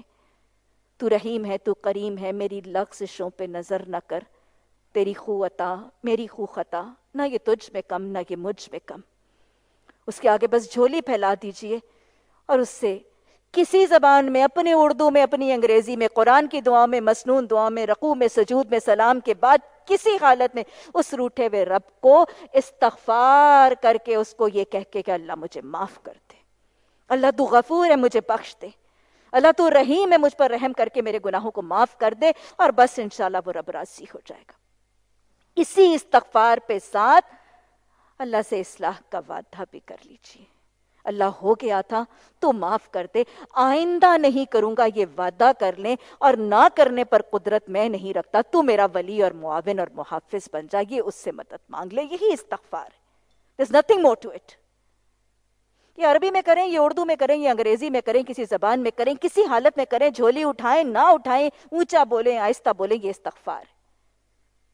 بلیو یو می این ممکن ہے کہ کوئی شخص سو ہزار دفعہ استغفر اللہ کی تسبیح تو گھما دیتا ہے، لیکن ایک دفعہ بھی اس نے اس ساری کی ساری تسبیح میں اپنی کسی گناہ کو آئیڈینٹیفائی کر کے اس کی بخشش نہیں مانگی ہوتی۔ کیا خیال ایسا نہیں ہے؟ ٹک ٹک ٹک ٹک ٹک، استغفر اللہ استغفر اللہ استغفر اللہ۔ لیکن اس ہزار دفعہ استغفر اللہ کہنے کے باوجود ایک دفعہ بھی اپنی کسی بد اخلاقی یا اپنے برے معاملے کا اعتراف کر کے اس پر نادم ہو کر اللہ سے بخشش نہیں مانگی۔ این ممکن ہے یہ ایک دفعہ کا اعتراف اور آنسوں کا بہانہ اس کی گناہوں کی بخشش کا ذریعہ بن جائے اور وہ سو دفعہ کی تسبیح جو غافل دل سے کی جا رہی ہے، جو اعتراف خطا کے بغیر کی جا رہی ہے۔ سوا لاکھ دفعہ کا آیت کریمہ پڑھنا اگر وہ اعتراف خطا کے بغیر ہے تو وہ استغفار کا درست طریقہ نہیں ہے۔ استغفار کا طریقہ صرف یہی ہے کہ اپنے گناہوں کو پرکھ کر اعتراف کر کے نادم ہو کے اللہ سے بخشش مانگی جائے۔ کچھ دعائیں؟ کثرت سے یہ دعائیں پڑھیں گے انشاءاللہ۔ اور رمضان میں کثرت سے استغفار کریں گے کن اوقات میں؟ تحجد کے اوقات یہ وہ اوقات ہے نا کہ اللہ سبحانہ تعالیٰ آسمان دنیا پر اترتے ہیں، اپنا ہاتھ پھیلاتے ہیں اور کیا کہتے ہیں؟ ہے کوئی جو مجھ سے کوئی دعا کرے اور اس کی میں دعا قبول کروں؟ ہے جو کوئی مجھ سے اپنی حاجت بیان کرے اور میں اس کی حاجت اس کو عطا کروں؟ ہے کوئی جو مجھ سے گناہوں کی بخشش مانگے اور میں اس کے سارے گناہ بخش دوں؟ تو استغفار کرنا ہے، جس انداز میں میں نے ذکر کیا، اس انداز میں تحجد کے اوقات میں۔ سحری کے اوقات میں، سارا وقت روزے کے اوقات میں یہ دعاؤں کی قبولیت کا وقت ہے۔ اور پھر اس کے بعد افطار کے اوقات میں، قیام اللیل میں، رات کے قیام میں اتقاف کے دوران لیلت القدر کی راتوں میں۔ اور پھر یہاں تک کہ جب ہم باجماعت ہم نماز کے لیے، عیدین کی نماز کے لیے حاضر ہوں گے تو وہ بھی استغفار کے اوقات ہیں۔ تو کثرت سے ان ساری گھڑیوں میں استغفار کو لازم پکڑ لیجیے۔ حدیث کے الفاظ موجود ہیں کہ آپ صلی اللہ علیہ وسلم نے فرمایا، خوش ہو جائے وہ شخص۔ خوش ہو جائے وہ شخص جو اپنے نامہ اعمال میں استغفار کو کثرت سے پالے اللہ ہمیں اس رمضان میں خوش ہونے والا بنا دے۔ خوش ہو جائے وہ شخص جو اپنے نامہ اعمال میں استغفار کی کثرت پائے۔ اور استغفار کی برکت کیا ہے؟ حضرت عبداللہ بن عباس رضی اللہ تعالی عنہ کی روایت سے حدیث آتی ہے کہ جس شخص نے استغفار کو اپنے لیے لازم کر لیا، جس شخص نے استغفار کو اپنے لیے لازم کر لیا، اللہ سبحانہ تعالی ہر مشکل سے نکلنا اس کے لیے آسان کر دیتے ہیں۔ مشکلات میں گھرے ہیں، استغفار کو اپنے لیے لازم کر لیجیے۔ جس شخص نے استغفار کو اپنے لیے لازم کر لیا، اللہ سبحانہ تعالیٰ ہر مشکل سے اس کے لیے نکلنا آسان کر دیتے ہیں۔ اس کی فکروں اور پریشانیوں کو دور کر کے اسے کشادگی عطا کرتے ہیں۔ یہ استغفار کرنے والے کی برکتیں ہیں۔ اس کی فکروں کو، پریشانیوں کو دور کر کے اس کو کشادگی اور اطمینان عطا کرتے ہیں۔ اور رزق رزق اس کو وہاں سے دے گا، وہ رب جہاں سے اس کو ملنے کا امکان بھی نہ ہوگا۔ مجھے بتائیں کیا سارے مسائل حل نہیں ہو گئے۔ تنگیاں دور ہو گئیں، فکر دور ہو گئے، بے سکونیاں سکون اور اطمینان میں بدل گئیں۔ مسائل حل ہو گئے، مشکلات حل ہو گئی رزق کی تنگیاں جاتی رہیں، اس طرف سے جاتی رہیں، جہاں سے ہمیں امکان بھی نہیں ہوگا۔ استغفار کے لیے کچھ دعائیں۔ پہلی دعا، حضرت آدم علیہ السلام کی دعا۔ ربنا ظلمنا انفسنا وَإِن لَمْ تَغْفِرْ لَنَا وَتَرْحَمْنَا لَنَكُونَنَّ مِنَ الْخَاسِرِينَ۔ حضرت یونس علیہ السلام کی دعا، لا الہ الا انتا سبحانک انی کنت من الظالمین۔ اللہ جو مجھ پر تکلیف، غم، پریشانی آئی ہے، تو تو پاک ہے۔ میں ہی اپنے جان پر ظلم کرنے والا۔ انی کنت من الظالمین، اعتراف کے ظلم اور گناہ میں نہیں کیا تھا۔ اس کے بعد قرآن کی وہ بہت ہی خوبصورت بخشش کی دعا، رب اغفر وارحم وانت خیر الراحمین، اللہ مجھ پر بخش کا معاملہ کر۔ اللہ مجھے بخش دے۔ اللہ مجھ پر رحم فرما۔ تو تو بہترین رحم کرنے والا ہے۔ اور پھر قرآن کی وہ دعا جس میں ہم اپنے ایمان کا اعلان کر کے اللہ سے بخشش مانگیں گے، ربنا اننا آمنا۔ ربنا اننا آمنا اللہ اب اس میں کوئی شک نہیں کہ ہم نے تجھے مان لیا ہے اور تیری ماننے لگے ربنا اننا آمنا، فاغفر لنا ذنوبنا، وقنا عذاب النار۔ اللہ، حال میں ہم نے تجھے مان لیا ہے، تیری مان لی ہے۔ پچھلے گناہوں کو تو بخش دے اور آگے ہمیں جہنم کی آگ سے بچا لے۔ یہ ہے مسلمان کا حال، ماضی اور مستقبل۔ اننا آمنا، فاغفر لنا ذنوبنا، وقنا عذاب النار۔ یہ چار میں نے آپ کو بخشش کی دعائیں بتا دیں قرآن کی۔ کچھ مسنون دعائیں۔ استغفر اللہ ربی من کل زمبن واتو بولے جامع ترین دعائیں اللہ میرے سارے گناہوں سے میں بخشش طلب کرتا ہوں۔ استغفر اللہ ربی من کل زمبن واتو بولے پھر وہ بہت ہی پیاری سی دعا۔ اللہم اغفر لنا وللمؤمنین والمؤمنات۔ والمسلمین والمسلمات حریصوں کے صرف اپنی بخشش نہیں، تمام مسلمان مردوں، عورتوں، تمام مومن مردوں، عورتوں کی بخشش مانگنی ہے۔ اس کے بعد رکوع اور سجدے کی وہ مسنون دعا۔ سبحانک اللہم ربنا و بحمدک اللہم اغفر لی، اللہ تیری تعریف، تیری غمد۔ رکوع میں سجود میں انشاءاللہ سبحانہ تعالیٰ میں اور آپ اللہم اغفر لی کہیں گے تو وہ گناہ بخشے گا۔ اور پھر سجدے کی وہ بہت ہی پیاری سی دعا ہے۔ اللہم اغفر لی زمبی کلہو دکہو وجلہو، سرہو، وعلانیتہو اولہ آخرہ۔ اللہ میرے سارے ہی بخش دے۔ اللہ میرے سارے ہی بخش دے، میرے چھوٹے بھی بخش دینا میرے بڑے بھی بخش دینا میرے چھپے ہوئے بھی بخش دینا میرے ظاہر بھی بخش دینا میرے پہلے بھی بخش دینا میرے بعد والے بھی بخش دینا ذرا سوچے نا۔ رمضان کا تحجد کا وقت ہوگا۔ رمضان کے تحجد میں میں اور آپ انشاءاللہ نفل کی حالت میں ہوں گے، سجدہ ریز ہوں گے، رب کے قریب ہوں گے، رب کی پسندیدہ حالت میں ہوں گے۔ محمد صلی اللہ علیہ وسلم کی دعاؤں سے ہم استغفار مانگیں گے۔ تو بتائیں میرا رب کیا مجھے بخشے گا نہیں؟ یقین ہے نا؟ تحجد کے سجدے میں انشاءاللہ محمد صلی اللہ علیہ وسلم کی زبان مبارک سے نکلی ہوئی مسنون دعا سے ہم اپنے اگلے پچھلے کھلے چھپے سب گناہوں کی بخشش سجدے میں جا کے بخشیں مانگیں گے۔ انشاءاللہ ہم اپنے ماضی کو سوارنے میں رمضان میں ضرور کامیاب ہوں گے۔ اور پھر وہ مسنون دعا دو سجدوں کے درمیان، اللہم اغفر لنا، وارحمنا، وجبرنا واحدنا وافنا ورزقنا سبھی کچھ تو مانگ لیا ہدایت بھی دے دے عافیت بھی دے دے رحم بھی کر لے بخش بھی دے اور ہمیں درجے بھی بلند کر، ہماری رزق بھی عطا فرما دے. تو چار دعائیں میں نے آپ کو قرآنی بتائیں اور پھر میں نے آپ کو مسنون دعائیں بتائیں. یہ نماز کے علاوہ بھی ہیں، یہ سجدے میں بھی ہیں، یہ رقو میں بھی ہیں اور دو سجدوں کے درمیان بھی ہیں. ان کو اس رمضان میں اپنے ماضی کو سنوارنے کے لیے انشاءاللہ اس رمضان میں ان کو ہم اپنے لیے لازم کر لیں گے۔ اچھا جی اب ماضی کے گناہوں کے دھبوں کو دھونے کے بعد اب حال کے ساتھ ہم نے کیا کرنا ہے؟ اپنے پریزنٹ کا معاملہ کیا کرنا ہے؟ یہ تو یقین ہو گیا کہ جب گناہوں سے بخشش مانگتے ہیں تو اللہ معاف کر دیتا ہے، تو کیا وطیرہ بنا لینا ہے؟ پچھلے کر کے پچھلے بخشوا لیے اگلے کر کے اگلے بخشوا لیں گے؟ کیا حال ایسے گزارنا ہے؟ پچھلے بخشوانے کے بعد حال میں پھر کھل کے جیو، مزے سے جیو اور اس کے بعد کوئی نہیں، اس کو پھر بخشوا لیں گے نہیں۔ حال کیسے گزارتا ہے؟ قرصت سے توبہ اور اصلاح کرنے والا۔ اللہ سبحانہ تعالیٰ قرآن میں فرماتے ہیں، یا ایوہ الذین آمنوا توبو الاللہ توبت النسوح اے ایمان لانے والو، تم اللہ کی طرف توبہ کرو اور کیسی توبہ کرنا؟ توبت النسوح کرنا۔ یہ توبت النسوح کیا ہے؟ حضرت عمر رضی اللہ تعالیٰ عنہ سے جب پوچھا گیا کہ توبت النسوح سے آپ کو کیا سمجھ آتا ہے، تو حضرت عمر نے کیا فرمایا تھا؟ حضرت عمر نے فرمایا تھا توبت النسوح یہ ہے کہ توبہ کرنے والا اس گناہ کے کرنے کا، اس گناہ کو کرنا تو درکنار، اس کو کرنے کا ارادہ بھی نہ کرے۔ کرنے کا تو معاملہ ہی نہیں ہے۔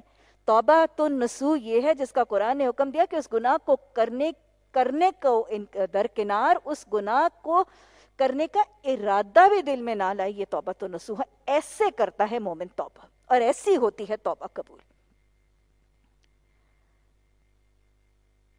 وہی جو میں نے آپ کو اس آیت میں بھی بتایا نا، لا تقنطو من رحمت اللہ اللہ کی رحمت سے مایوس نہ ہو جو اس میں توبہ کے بعد کیا کہا گیا تھا؟ ان اللہ یغفر الذنوب جميعا کے بعد کیا کہا گیا تھا؟ تم کیا کرنا؟ پھر خطا کر کے پھر نہیں۔ انیبو الى ربکم، اپنے رب کی طرف پلٹ آنا اپنے رب کی طرف پلٹ آنا یہ جو تم اپنی باغیں چھڑا کے، اپنی ڈور چھڑا کے تم اللہ سبحانہ تعالیٰ سے پرلی دنیا کی طرف سرکشی سے منہ ڈھائے بھاگتے چلے جا رہے تھے نا۔ تم اپنی ڈور اللہ کے ہاتھ میں تھما نہیں رہے تھے نا۔ تم اپنی باغیں اپنے رب کے ہاتھ میں دینے کو راضی نہیں تھے، تم سرکش بنے ہوئے تھے نا۔ دنیا کی طرف دوڑتے چلے جا رہے تھے، اب توبہ کرنے کے بعد کیا کرنا؟ انیبو الہ ربکم، اپنے رب کی طرف پلٹ آنا رب کی طرف پلٹنے کے بعد کیا کرنا؟ وَأَسْلِمُ لَحُ پھر اس کی فرما برداری کرنا۔ اس کے آگے سر تسلیم خم کر دینا۔ من قبل یومن، من قبل یعطیکم یومن یعطیکم العذابہ ثم لا تنصرون اس دن سے پہلے کہ تمہارے پاس اللہ کا عذاب، تمہاری موت کا وقت، کوئی آزمائش آ جائے اور پھر تم مدد نہ کیے جاؤ۔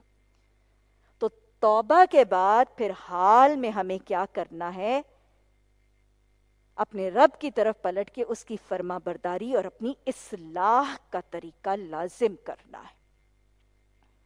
اپنی اصلاح کا طریقہ لازم کرنا ہے۔ اور اس کو ہم، آپ نے وہ ٹرم سنی ہوگی، تزکیہ کہتے ہیں۔ بس اوقات کچھ لوگ کہتے ہیں، قرآن پڑھانے والے بڑے مشکل مشکل سی ٹرمنالوجی بولتے ہیں، تزکیہ۔ تزکیہ کیا ہوتا ہے؟ سمجھائی دیتی ہوں آپ کا مطلب۔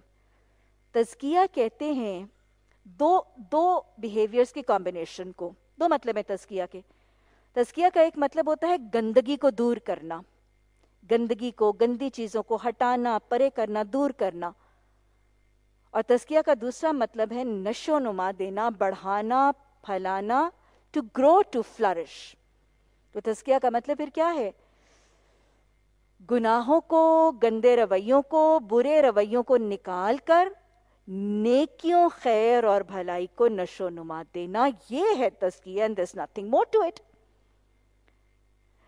بد اخلاقی کو نکال کر حسن اخلاق کو بڑھانا، نافرمانی کو نکال کر فرما برداری کے نشو نما کرنا، سرکشی کو نکال کر اطاعت میں آگے نکل جانا۔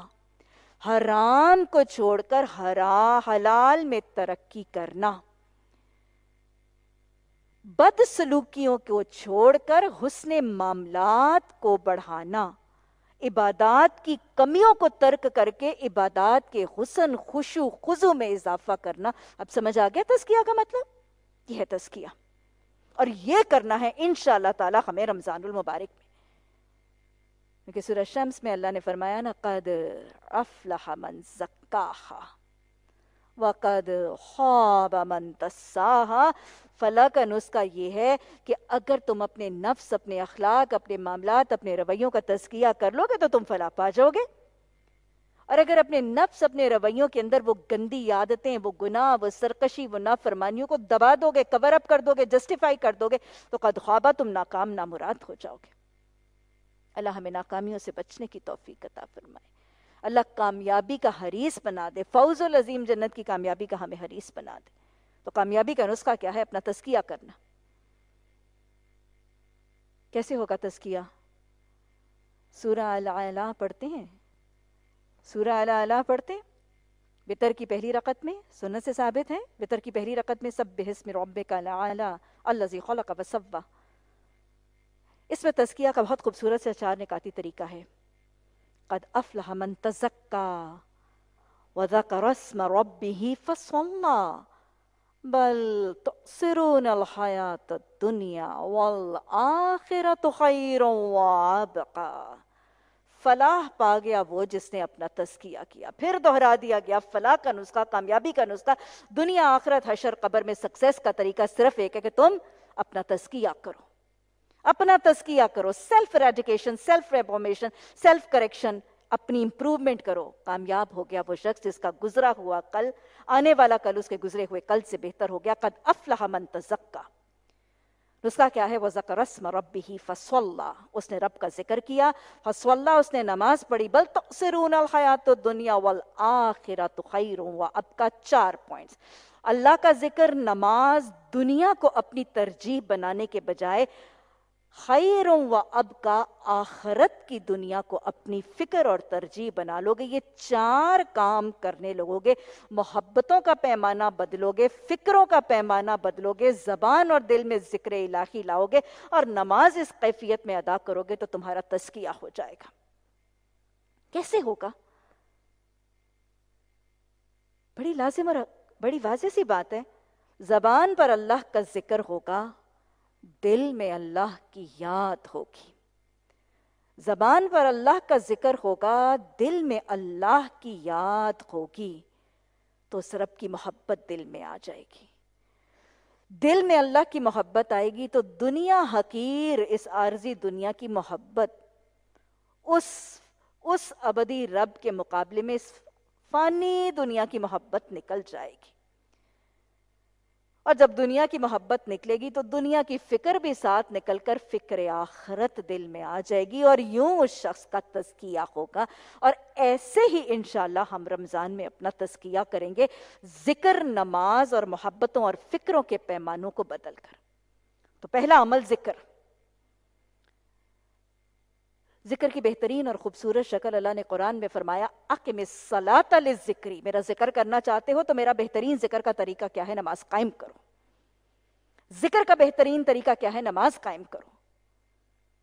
نماز مومن کی معراج ہے، رب سے ملاقات ہے۔ یظنون انہم ملاقو ربہم۔ نماز تو ایسے کہ وہ گمان کرتے ہیں کہ وہ اپنے رب سے بات کر رہے ہیں۔ حضرت عمر کہتے ہیں کہ جب میرا دل کرتا ہے کہ میں رب سے بات کروں تو میں نماز پڑھتا ہوں۔ ہاں جب میرا دل کرتا ہے کہ میرا رب مجھ سے بات کرے تو میں قرآن پڑھتا ہوں۔ یہ نماز ہے۔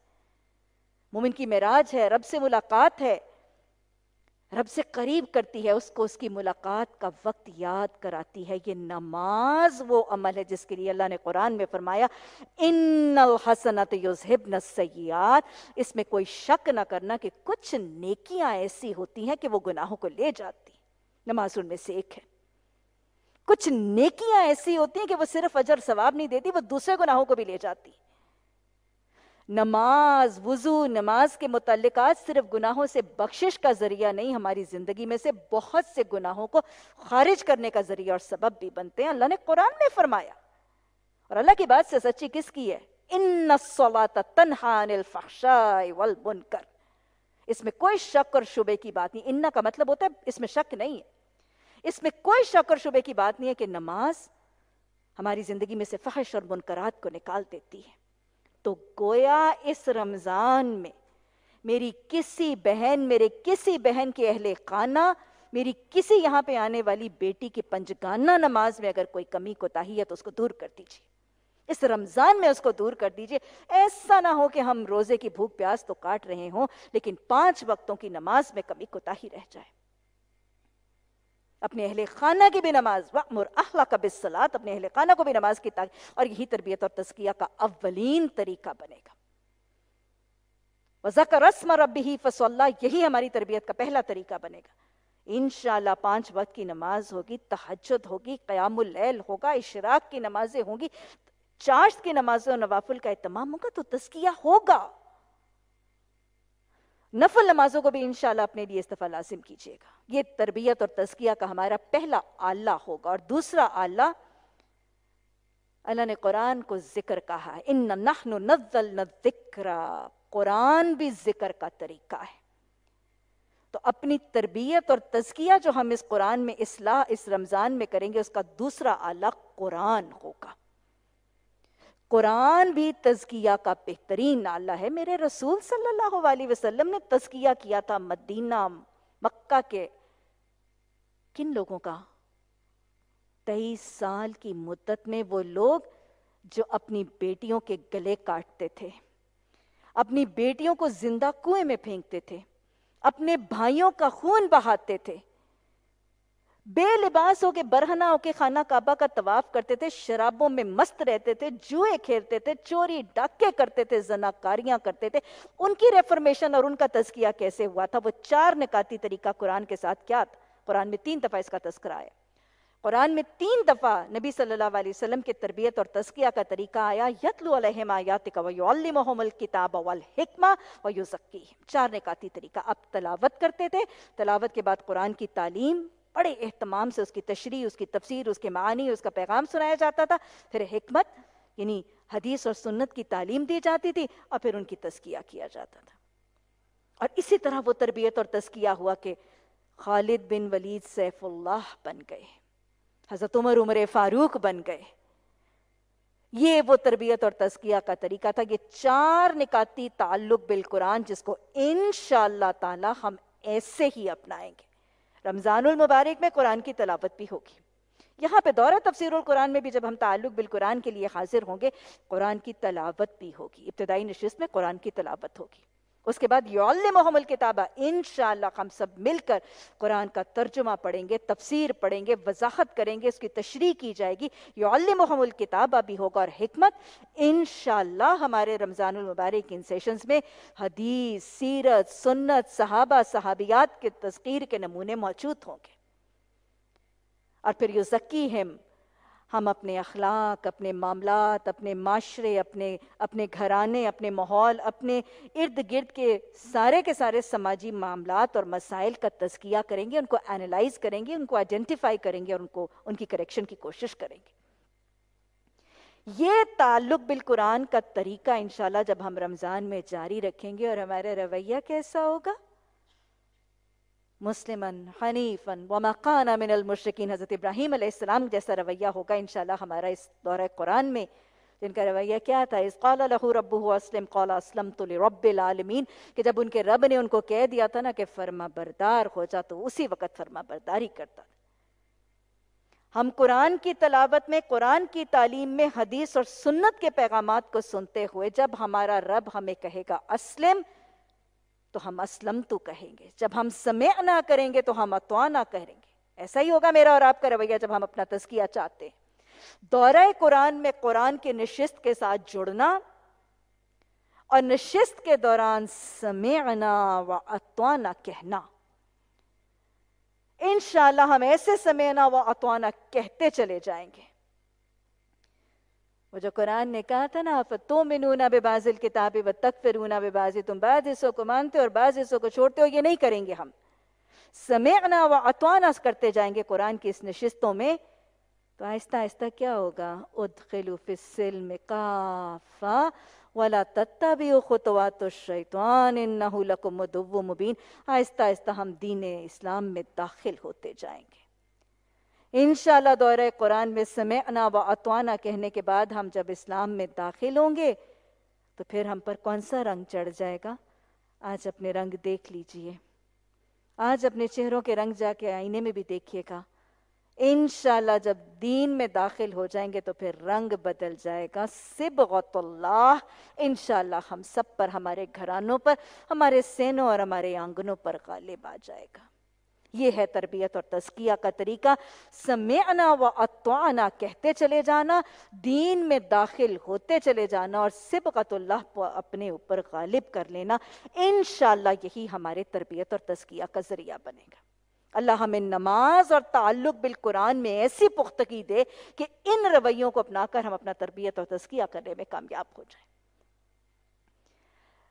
جب یہ تزکیہ کی بات ہو رہی ہے اور اپنی اصلاح کی بات ہو رہی ہے تو میں ایک چھوٹا سا آپ کو مشورہ بھی دینا چاہتی ہوں اور وہ کچھ ایسے دوں گی کہ ہر کام تب بہترین نتائج مرتب کرتا ہے اگر اس کو ایک تنظیم اور ایک ڈسپلن کے ساتھ کیا جائے نا، تو اس رمضان میں ایک نظم و ضبط سے اپنا تزکیہ کرتے ہیں۔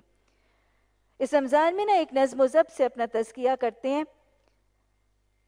بجائے اس کے کہ ہم کہیں کہ نہیں نا، بس اس دفعہ ہم رمضان میں بہت ہی اچھے سے بچے بن جائیں گے اور بس۔ نہیں، ایسے نہیں ہوگا۔ لیٹس پلان پلاننگ ہوتی؟ ہفتہ شجر کاری فلاں ہفتہ مدرس ڈے فادرس ڈے ہوتے ہیں نا؟ ہم رمضان میں اس دفعہ ایک باقاعدہ ضابطہ بنا لیتے ہیں۔ کچھ چیزوں کو ہم درست کریں گے۔ اور یاد رکھیے گا، پانچ چیزوں کی میں آپ کو تجویز دے رہی ہوں۔ وہ پانچ ٹھیک ہو گئی تو انشاءاللہ سارا کچھ ٹھیک ہو جائے گا۔ وہ پانچ ٹھیک ہو گئی انشاءاللہ۔ We'll just work and concentrate on those five انشاءاللہ، in رمضان باقی بھی کرتے رہیے گا، لیکن میں آپ کو جو ہدف دے رہی ہوں، میں جو آپ کو ٹارگٹ اس دفعہ رمضان میں دے رہی ہوں، ہم سب اپنا ٹارگٹ بنائیں گے۔ ہم پانچ چیزوں کو اپنا ہدف بنا کے ان پانچ کو ٹھیک کریں گے۔ میرا وعدہ ہے، انشاءاللہ، مجھے یقین ہے اس رب پر، یہ پانچ ٹھیک ہو گئی تو سب ٹھیک ہو جائے گا۔ پہلا، حدیث کا واسطہ۔ حدیث کا حوالہ۔ آپ نے فرمایا، سنو، جسم میں ایک ٹکڑا ہے۔ جب وہ ٹھیک ہو جائے تو سارا جسم ٹھیک ہو جاتا ہے اور اگر وہ خراب ہو جائے تو سارا جسم خراب ہوتا ہے۔ سن رکھو وہ ٹکڑا دل ہے۔ یہ وہی دل کا ٹکڑا ہے کہ آپ سے پوچھا گیا کہ نبی صلی اللہ علیہ وسلم، تقوی کہاں ہوتا ہے؟ تو آپ نے اشارہ کیا تھا، تقوی ہا ہونا، تقوی ہا ہونا، تقوی ہا ہونا، اسی دل کو، اسی دل کی اصلاح، یہ پہلا پہلا ہدف۔ اچھا جی دل کی دو کھڑکیاں ہوتی ہیں، میں اس دن بھی بات دل کی دو کھڑکیاں کون سی ہیں؟ ایک آنکھیں اور ایک کان۔ انہی دو پورٹلز کے ساتھ دل میں بات پہنچتی ہے نا۔ دل کی دو کھڑکیاں ہیں، آنکھیں اور کان۔ تو اگلی دو چیزیں جن کی اصلاح کرنی ہے دل کے بعد، وہ آنکھیں اور کان۔ اللہ سبحانہ تعالیٰ نے سورہ ملک میں، وہ جو ہم رات کو سونے سے پہلے اپنی قبر کے عذاب کے نجات کے لیے پڑھتے ہیں، اللہ نے کیا فرمایا؟ وَجَعَلَ لَكُمُ السَّمْعَ وَالْأَبْصَارَ وَالْأَفْئِدَةَ قَلِيلًا مَا تَشْكُرُونَ۔ میں نے تمہارے لیے آنکھیں بنائی، کان بنائے، دل بنائے، لیکن تم میں سے بڑے تھوڑے ہیں جو شکر کرتے ہیں۔ تو لہٰذا آنکھ، کان اور دل، باہر سے دونوں جانے والے پورٹلز میں سے صحیح چیزیں جائیں گی، دل کچھ صاف ہوگا۔ اور پھر جب ان دونوں پورٹل سے چیزیں اندر جاتی ہیں تو پھر تو نکلتی کہاں سے ہیں؟ نکلتی کہاں سے ہیں دل کی بات؟ دل کی بات نکلتی ہے زبان سے۔ تو اگلی چیز جس کی اصلاح کرنی ہے وہ انشاءاللہ اس رمضان میں زبان ہوگی۔ سیدنا سفیان رضی اللہ تعالیٰ نے رسول اللہ صلی اللہ علیہ وسلم سے پوچھا تھا کہ رسول اللہ صلی اللہ علیہ وسلم، میری سب سے خطرناک چیز کون سی ہے؟ راوی کہتے ہیں، آپ نے اپنی زبان کو تھاما تھا، آپ نے کہا تھا اپنی زبان کی حفاظت کرو۔ آپ صلی اللہ علیہ وسلم نے فرمایا ابن آدم جب صبح کرتا ہے تو اس کا سارا جسم اس کے، اس کی زبان کے آگے آجزی کرتا ہے یعنی ہاتھ جوڑتا ہے۔ تو ہمارے معاملے میں اللہ سے ڈرتی رہے، اگر تو سیدھی رہے گی تو ہم سیدھے رہیں گے، اور اگر تو بگڑ گئی تو ہم بھی بگڑ جائیں گے۔ کیا خیال ہے، زبان کا معاملہ ہے؟ پوچھا گیا تھا جنت میں جانے والے عمل کیا ہے اتنا لمبا سا خطبہ دینے کے بعد آپ نے سمری بتائی، آپ نے فرمایا اپنی زبان کی حفاظت کرو۔ اور دہرا لیجیے آپ صلی اللہ علیہ وسلم کی حدیث کے الفاظ، جو شخص مجھے اپنی زبان اور اپنی شرم گاہ کی حفاظت کا ذمہ دے گا، میں اس کو جنت کا ذمہ دوں۔ تو یہ تو ہے ہی جنت میں داخلے کا مہینہ۔ اپنی زبان کی حفاظت۔ چار چیزیں ہو گئی دل، آنکھ، کان، زبان۔ پھر ایک اور ذریعے سے ہمارے اندر ایک چیز جاتی ہے، رزق۔ کیا کھانے پینے کی تاثیر ہوتی ہے؟ مانتے ہیں؟ ارے کھانے کی تاثیر کو مانتے ہیں، کوئی چیزیں گرم ہوتی ہیں، کوئی چیزیں ٹھنڈی ہوتی ہیں پتا نہیں، وہ حقیم تو بہت کچھ کہتے ہیں کہ وہ بادی بھی ہوتا ہے۔ کھانے کی تاثیر ہے۔ جیسا جائے گا ویسا ہی نکلے گا نا۔ جیسا اندر جائے گا وہی عمل ہاتھوں پاؤں سے ابھریں گے اور نکلیں گے۔ تو لہٰذا پانچویں چیز جس کی ہم نے اصلاح کرنی ہے، وہ اپنا رزق ہے۔ اس کو پلان کر لیجیے۔ اس کو پلان کر لیجیے، نظم و ضبط بہرحال موجود ہے۔ پلاننگ میں پہلا کام، پہلا ہفتہ۔ پہلا ہفتہ کس چیز کو ٹھیک کریں گے؟ پہلا ہفتہ آنکھ کا ہفتہ ہوگا۔ پہلا ہفتہ آنکھ کا ہفتہ ہے۔ دوسرا ہفتہ کان کا ہفتہ ہے۔ جب آنکھ اور کان کی کچھ اصلاح ہوگی تو تیسرا ہفتہ میں دل کی اصلاح کا ہفتہ رکھ رہی ہوں۔ اور پھر چوتھا ہفتہ، آخری اشرا ویسے بھی بخشش کا اور اللہ کی رحمت عروج پر ہے۔ اور اس ہفتے کے لیے میں وہ کام رکھ رہی ہوں جو سب سے مشکل ہے۔ اللہ نے تو لگام بھی دی ہے، جڑ سے باندھا بھی ہے، لیکن اس کو لگام ڈالنا ذرا مشکل ہے۔ تو لہٰذا آخری ہفتہ ہماری زبان کی اصلاح کہا پہلا ہفتہ آنکھ کا، دوسرا ہفتہ کان کا، تیسرا ہفتہ دل کا، چوتھا ہفتہ اپنی زبان کی حفاظت کا تزکیہ کا اور پورے کا پورا رمضان ہم اپنی رزق کا تزکیہ کریں گے۔ پورے کے پورے ہفتے ہم رزق کا تزکیہ کریں گے۔ پہلا ہفتہ جب آنکھ کا ہوگا تو ہم کس چیز پر دھیان رکھیں گے؟ اپنی آنکھ کو اپنے ضبط اور اپنے کنٹرول میں رکھنے کی تربیت کریں گے۔ میری آنکھ، میری نگاہیں قرآن کی تلاوت تو کریں گی۔ ناظرہ قرآن پڑھیں گی، قرآن کی تلاوت کریں گی، قرآن کا ترجمہ تفسیر پڑھیں گی، دورہ قرآن میں قرآن کا ترجمہ تفسیر پڑھیں گی، میری نگاہیں ارد گرد کائنات کی نشانیوں میں اللہ کو پہچانیں گی، ارد گرد اللہ کے ضرورت مندوں حاجت مندوں غریبوں، مسکینوں، محتاجوں کو بھی میری آنکھیں تلاش کریں گی۔ لیکن میری آنکھیں کوئی بیکار لا یعنی فضول، حرام، حدود اللہ سے تجاوز کی چیز کا نظارہ کرنے سے رکی رہے گی۔ وہ نظارہ، وہ سین، وہ تصویر، وہ فلم، وہ کسی کے جسم کا حصہ جس کے لیے میری شریعت نے مجھے دیکھنے کی اجازت نہیں دی، وہ میرے رب کے حدود سے تجاوز کی۔ ان چیزوں کو، ان نظاروں کو، ان فلموں کو، ان سینوں کو، ان ڈراموں کو، ان چیزوں کو میں دیکھنے سے رکی رہوں گی۔ نماز میں اپنی نگاہ کو کیسے رکھتے ہیں؟ کھلی چھوڑ دیتے ہیں نگاہ کو؟ نماز میں نگاہ کو قابو میں رکھتے ہیں؟ بس اس روزے کی حالت میں بھی میں اور آپ اپنے پہلے ہفتے میں اپنی نگاہ کو قابو میں رکھنے کا طریقہ اختیار کریں گے۔ دوسرا ہفتہ ہمارے کان کی تربیت کا ہفتہ ہوگا۔ کانوں سے ہم سنیں گے قرآن کی تلاوت۔ کانوں سے سنیں گے سب سے پہلے آزان کے کلمات اور آزان کے کلمات سن کر دیں گے جواب۔ نماز پڑھیں گے، اذان کے کلمات کو سن کر۔ کانوں سے سنیں گے قرآن کی تلاوت۔ کانوں سے سنیں گے دورہ قرآن کی تفسیر۔ کانوں سے سنیں گے تراوی، امام کی تلاوت۔ اور کانوں سے سنیں گے اللہ کے ضرورت مندوں حاجت مندوں غریبوں، مسکینوں، محتاجوں کی پکار، کسی بیمار کی پکار، کسی ضرورت مند کی پکار، کان ہمارے یہ سب کچھ تو سنیں گے، لیکن بے کار لا یعنی فضول کی گفتگو، خرافات کی مومل لطیفے، مومل جھوٹ لحو الحدیث لیوزل الناس بغیر علم، موسیقی، ناچ، گانا، نہ یہ آنکھیں دیکھیں گی، نہ یہ کان سنیں گے۔ یہ کانوں اور آنکھوں کا تزکیہ جاری ہے۔ تیسرا ہفتہ دل کا ہفتہ ہے۔ دل کو پاک کرنے کے لیے چار چیزوں پر ہم نے کانسنٹریٹ کرنا ہے۔ اپنے دل کو چار چیزوں سے پاک کرنے کے اوپر پوری توجہ مرکوز کر لیجیے گا۔ میں ٹارگٹڈ کام کرنا چاہتی ہوں اس رمضان میں انشاءاللہ۔ اور میں آپ کو بتا دوں کہ یہ ہم اس محفل میں اتنے ٹارگٹڈ اورینٹڈ طریقے سے کام کریں گے، انشاءاللہ فلاح ضرور پائیں گے۔ دل کو چار چیزوں سے صاف کرنا ہے۔ سب سے پہلے جو آج کے معاشرے میں بہت عام ہے، حسد۔ اپنے دلوں کا محاسبہ کیجیے گا، کوئی جیلسی تو نہیں ہے۔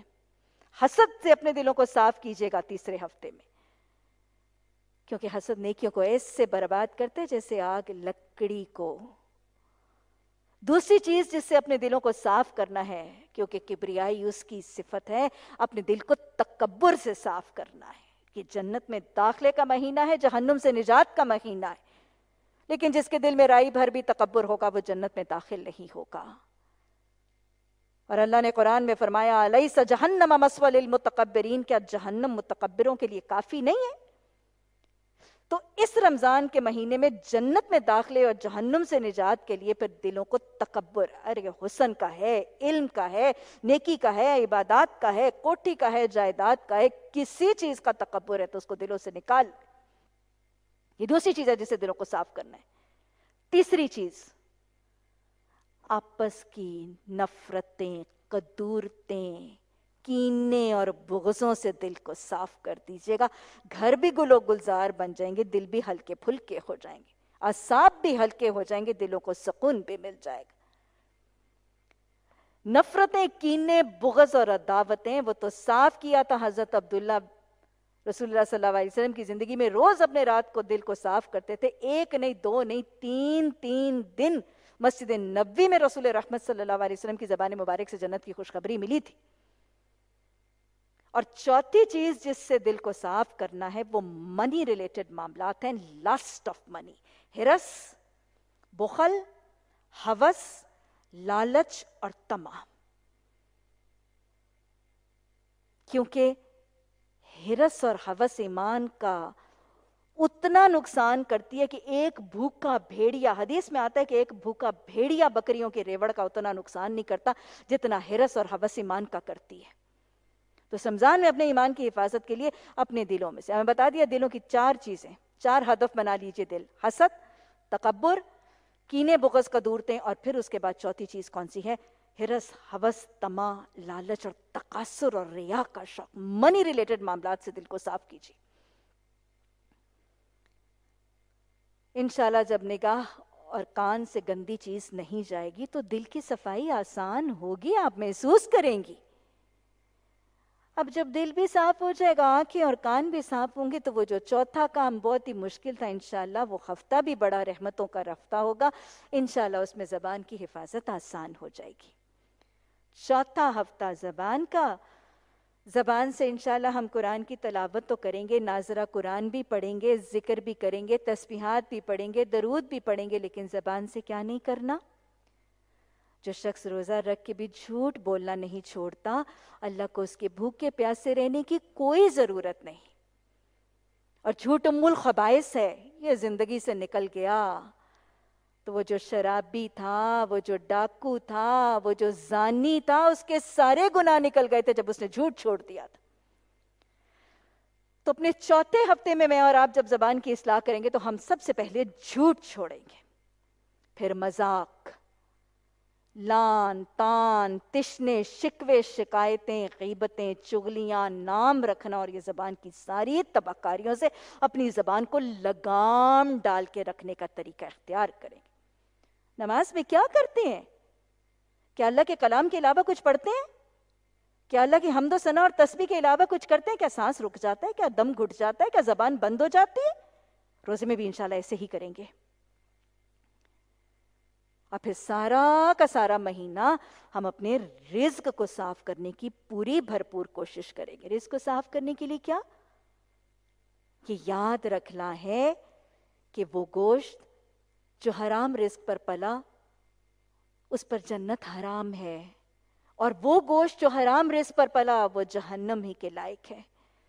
تو اپنے سحری کے اوقات، اپنے افطار کے اوقات میں اپنے دسترخوان کا بڑا کڑا محاسبہ کیجیے گا۔ اپنی تجوریوں کا، اپنے بینک اکاؤنٹس کا، اپنے چلتے ہوئے کاروباروں کا اور اپنی تمام معاملات کا کڑا محاسبہ کیجیے گا۔ کہیں میرے دسترخوان پر ایک لکمہ حرام ریس کا تو نہیں ہے۔ پھر اللہ سے دعا کیجیے گا۔ مصنون دعا ہے۔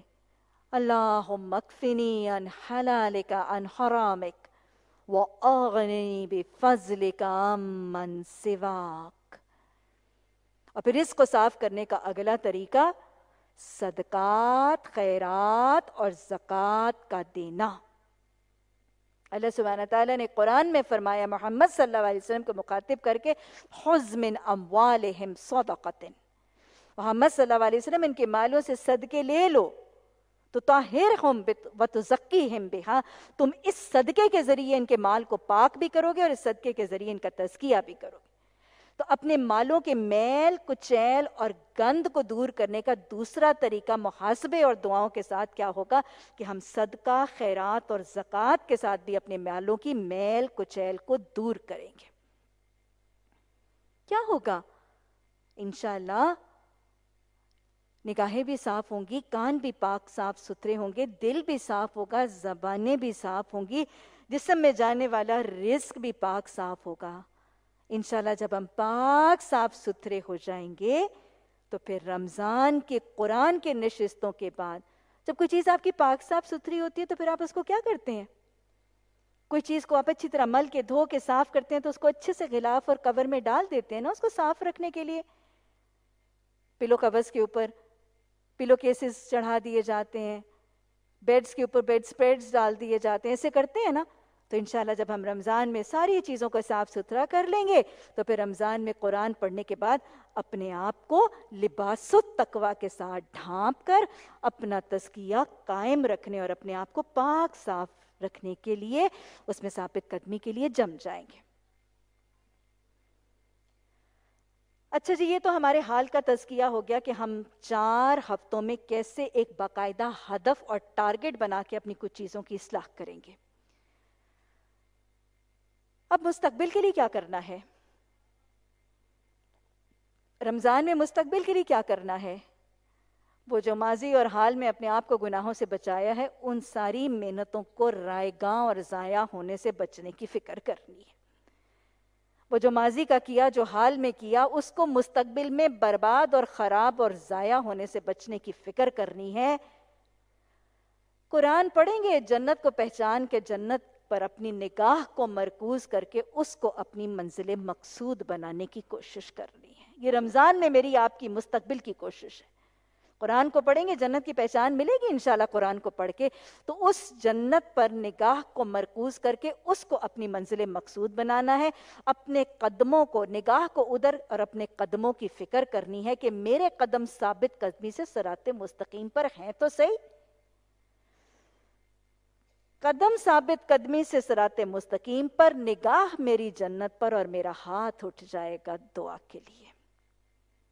یہ ہے میرا مستقبل کے ساتھ طریقہ۔ منزل میری جنت ہوگی، قدم میرے استقامت سے سرات مستقیم پر ہوں گے اور ہاتھ میرے دعاؤں کے لیے اٹھ جائیں گے، کیونکہ حدیث نے بتا دیا، ان دعا عبادہ اس میں شک کوئی نہ کرنا کہ دعا عبادت ہے۔ اور جہاں میں نے آپ کو بھی بتایا کہ اللہ کی نعمتوں میں سے بڑی نعمت یہ ہے کہ اللہ نے ہمیں مسلمان بنایا اور اللہ کے احسانات میں سے جو دو بڑے سب سے احسان ہیں، ایک تو توبہ اور دوسرا دعا کا دروازہ۔ اذا سألك انی عبادی، اذا سألك عنی عبادی فإنی قریب جیب دعوت الدائی زدانی۔ اللہ نے قرآن میں کہا ہے کہ تمہارے بندوں میں سے جو جب جہاں دن کو رات کو، صبح کو، شام کو، گرمی میں، دھوپ میں، چھاؤں میں، جاڑے میں، طوفان میں کوئی حاکم محکوم، کوئی آقا، کوئی غلام، کوئی مرد، عورت، بچہ، بوڑھا، جوان، بیمار، جو مجھے جب جہاں جیسے پکارے گا، جس چیز کے لیے پکارے گا، ان ربکم حیون تمہارا رب حیا والا ہے کریم عزت والا ہے، اس کو خالی ہاتھ لوٹاتے خیات دی۔ کیسا رحمان ہے وہ میرا رب۔ وہ کہتا ہے، جب جہاں جو جب جس چیز کے لیے پکارے گا، میں سنوں گا، میں جواب دوں گا، میں قبول کروں گا، میں حاجت پوری کروں گا، اور صرف یہی نہیں میں اس کے ساتھ تمہیں عبادت کا اجر بھی دوں گا میری طرف آؤ تو صحیح۔ دعا عبادت ہے، عبادات کا محض ہے، افضل عبادت ہے۔ حدیث میں آتا ہے کہ آپ صلی اللہ علیہ وسلم نے فرمایا لیس شیئن اکرمون اند اللہ من الدعا اللہ کے نزدیک دعا سے زیادہ عزت والی چیز کوئی ہے ہی نہیں۔ اللہ کے نزدیک دعا سے زیادہ عزت والی چیز کوئی ہے ہی نہیں۔ تو اس عزت والی نعمت سے میں نے اور آپ نے اس عبادت سے اپنے آپ کو ڈھیروں ڈھیر مستفید کرنا ہے اس رمضان میں۔ کیونکہ حدیث میں آتا ہے نا کہ تقدیر کو نہیں بدل سکتی کوئی چیز مگر دعا۔ تقدیر کو نہیں بدل سکتی کوئی چیز مگر دعا اور تقدیر ہی کے لیے اور تکلیف کے لیے آپ صلی اللہ علیہ وسلم نے فرمایا، دعا ٹال دیتی ہے ہر اس تکلیف کو جو اتر چکی ہے اور جو ابھی نہیں اتری۔ یعنی جو آفتیں آ چکی ہیں، ان کو بھی دعائیں ٹال دیتی ہیں اور جو بھی آئی نہیں ہے نا، ان کو بھی ٹال دیتی اور ایک دوسرے کو جو بہترین تحفہ اور ہدیہ بھی ہم دیتے ہیں، وہ بھی کیا ہے؟ وہ بھی تو دعا ہی ہے نا۔ اور پھر حدیث کے الفاظ آتے ہیں کہ آپ صلی اللہ علیہ وسلم نے فرمایا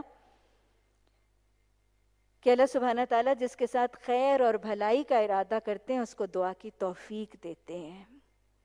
اللہ ہمیں یہ توفیق عطا فرما دے۔ اور اللہ ہمیں مقبول الدعا بنا دے اور اللہ ہماری ساری دعائیں قبول بھی فرما لے جو ہمارے حق میں بہتر ہیں۔ تو اللہ جس کو ساتھ بھلائی کا اور خیر کا ارادہ فرماتے ہیں، اس کی دعائیں، اس کو دعا کی توفیق دیتے ہیں۔ تو اللہ سبحانہ تعالیٰ نے اسی لیے فرمایا قول ربکم ادعونی فاستجب لکم، اللہ کہتا کہ مجھے پکارو، اللہ کہتا کہ مجھ سے دعائیں کرو، میں تمہاری دعائیں قبول کروں گا۔ اور حدیث نے ہمیں وون بھی کر دی ہے۔ وَمَا لَمْ يَسَلِ اللَّهِ جو اللہ سے سوال نہیں کرتا یغضب علیہ، اللہ اس پر غضبناک ہو جاتا ہے۔ مانگنے سے وہ رب خوش ہوتا ہے۔ آپ کو پتہ نا کہ اللہ کی دو صفتیں، ایک رحیم اور ایک رحمان۔ رحیم کیا صفت ہے؟ کہ وہ مانگنے سے، دعا مانگنے سے وہ خوش ہوتا ہے، اور رحمان وہ ہے جو نہ مانگنے سے ناراض ہو جاتے ہیں تو دعائیں مانگنی ہے، رمضان میں مانگنی ہے، یہ دعاؤں کی قبولیت کا مہینہ ہے، کثرت سے مانگنی ہے۔ ہم سب کی ضرورتیں بھی ہیں، حاجتیں بھی ہیں، دکھ بھی ہیں، پریشانیاں بھی ہیں، بیماریاں بھی ہیں، غم بھی ہیں، مسائل بھی ہیں۔ بہت سے گناہ بھی ہیں بخشوانے کے لائق۔ تو دعائیں مانگنی ہیں۔ کثرت سے مانگنی ہے اٹھتے، بیٹھتے، چلتے، پھرتے، دن کو، رات کو، ہر وقت مانگنی ہے اس رمضان میں۔ اپنے لیے، دوسروں کے لیے، ملک کے لیے، امت اور ملت کے لیے۔ جنت کے لیے، جہنم سے نجات کے لیے، نیکیوں کی توفیق کے لیے، گناہوں سے بچنے کے لیے کتنی دعائیں مانگنے والی ہیں؟ دنیا بھی مانگنی ہے، آخرت بھی مانگنی ہے۔ کثرت سے مانگیے گا۔ دعاؤں کے حوالے سے کچھ تھوڑا سا کہ دعا کے آداب کیا ہوں گے اور کب، کہاں، کیسے دعائیں قبول ہوتی ہیں تاکہ انشاءاللہ ہمارے لیے کام آسان ہو جائے نا اور ہم مقبول الدعا بھی بن جائیں۔ دعا کے آداب میں سب سے پہلی بات یاد رکھیے گا کہ دعا صرف اور صرف اللہ سے کی جاتی ہے۔ دعا صرف اور صرف اللہ سے کی جاتی ہے۔ دعا کرتے وقت آجزی اور انکساری، تکبر، دھونس، روب، ایسے نہیں مانگا جاتا اللہ سے۔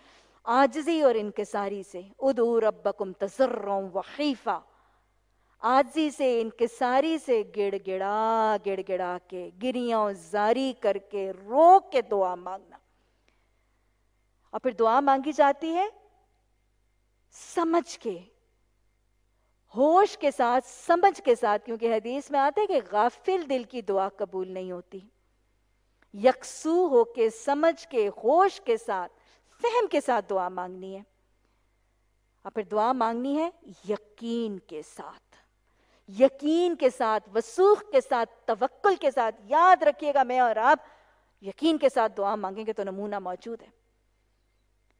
حضرت زکریہ علیہ السلام بڑھاپے میں ہیں۔ انہوں نے خود کہا کہ میری کمر، میرا سر بڑھاپے سے بھڑک اٹھا ہے، میری کمر بڑھاپے کے زوب سے جھک گئی ہے اور میری بیوی بوڑھی اور بانج ہے۔ کیا کہا تھا؟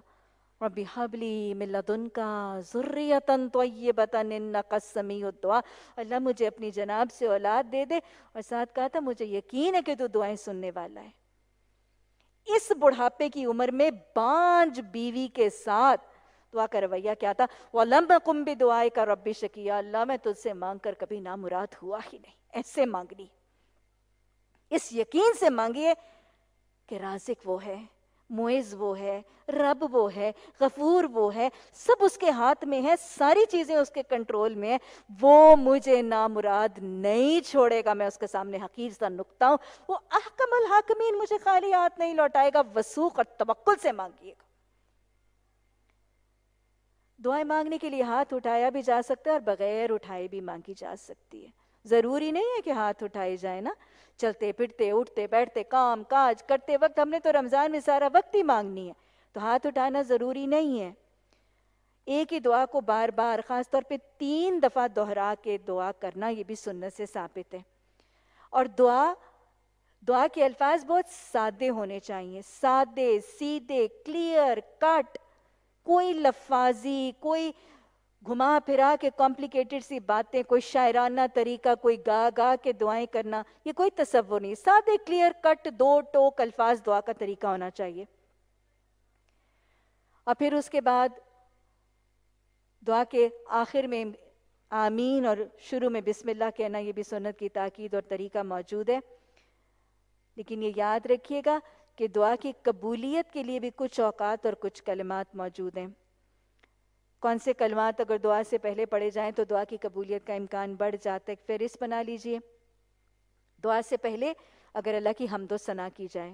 کوئی بھی تسبیح، سبحان اللہ والحمد للہ ولا الہ الا اللہ، واللہ اکبر، کوئی بھی تسبیح جو آپ کو یاد ہے۔ دعا سے پہلے تسبیح کا کرنا، اللہ کی حمد و ثنا اور پاکی کا کرنا، یہ دعا کی قبولیت کا امکان بڑھا دیتا ہے۔ دعا سے پہلے درود پڑھنا۔ محمد صلی اللہ علیہ وسلم پر درود پڑھ لیجیے دعا سے پہلے۔ سورہ فاتحہ کا پڑھنا دعا کی قبولیت کا ذریعہ بنتا ہے۔ سورہ بقرہ کی آخری دو آیات کا پڑھنا۔ پھر دہرا دوں۔ اللہ کی حمد و ثنا کرنا، تسبیحات کرنا، درود پڑھنا، سورہ فاتحہ پڑھنا، سورہ بقرہ کی آخری دو آیات پڑھنا۔ اور پھر یا حیو یا قیوم۔ اور پھر حدیث میں ایک اور تاکید موجود ہے۔ آپ نے فرمایا، یا زل جلالی والاکرام کو اپنے لیے لازم پکڑ لو۔ یعنی دعاؤں سے پہلے زل جلالی والاکرام کا کہنا، یہ بھی دعاؤں کی قبولیت کا ذریعہ بنتا ہے۔ دعاؤں کے دوران اللہ نے قرآن میں فرمایا، وَلِلَّهِ الْأَسْمَاءُ الْحُسْنَى فَدْعُوهُ بِهَا۔ اللہ کے بہت ہی اچھے سے نام ہے، اس کو ان ناموں کے ساتھ پکارا کرو۔ تو اللہ سبحانہ تعالیٰ کو اس کے ناموں کا واسطہ دے کر بخشش مانگ رہے ہیں، تو غفور کہہ کر، اولاد مانگ رہے ہیں، تو خالق کہہ کر، رزق مانگ رہے ہیں، تو رازق کہہ کر، عزت کے مسائل ہیں، تو معیز کہہ کر۔ شفا اور بیماری کا معاملہ ہے، تو شافی کہہ کر۔ تو لہٰذا اس کو اس کے صفاتی ناموں کا واسطہ دے کر مانگیے۔ پھر کچھ اوقات اور کچھ سرگرمیاں ہیں جن کے بعد دعا زیادہ قبول ہوتی ہے۔ نماز اور نماز کے ساتھ آزان کے بعد دعا قبول ہوتی ہے۔ اذان اور اقامت کے درمیان دعا قبول ہوتی ہے۔ رقو قیام، سجود تشخد میں دعا قبول ہوتی ہے۔ سلام پھیرنے کے بعد فرض نماز کے بعد دعا قبول ہوتی ہے اور ساری نماز کے بعد بھی دعا کی قبولیت کا وقت ہے۔ تحجد کی نماز میں دعا قبول ہوتی ہے۔ جمعے کے دن اثر کی نماز کے بعد دعا کی قبولیت کا وقت ہے۔ قیام اللیل، تراوی میں انشاءاللہ دعا قبول ہوگی۔ اور یہاں فجر سے لے کے جو اشراق تک ایک مختصر سا اتقاف ہے، انشاءاللہ اس کے بعد دعا قبول ہوگی۔ تراوی کے بعد بھی دعا قبول ہوگی۔ بعض جماعت نمازیں، جمعہ کی نماز، عیدین کی نماز، یہ بھی دعاؤں کی قبولیت کے اوقات ہیں۔ قرآن پڑھنے کے بعد ذکر کی محفلوں میں دعائیں قبول ہوتی ہیں۔ کوئی بھی نیکی کا عمل کرنے کے بعد دعائیں قبول ہوتی ہیں۔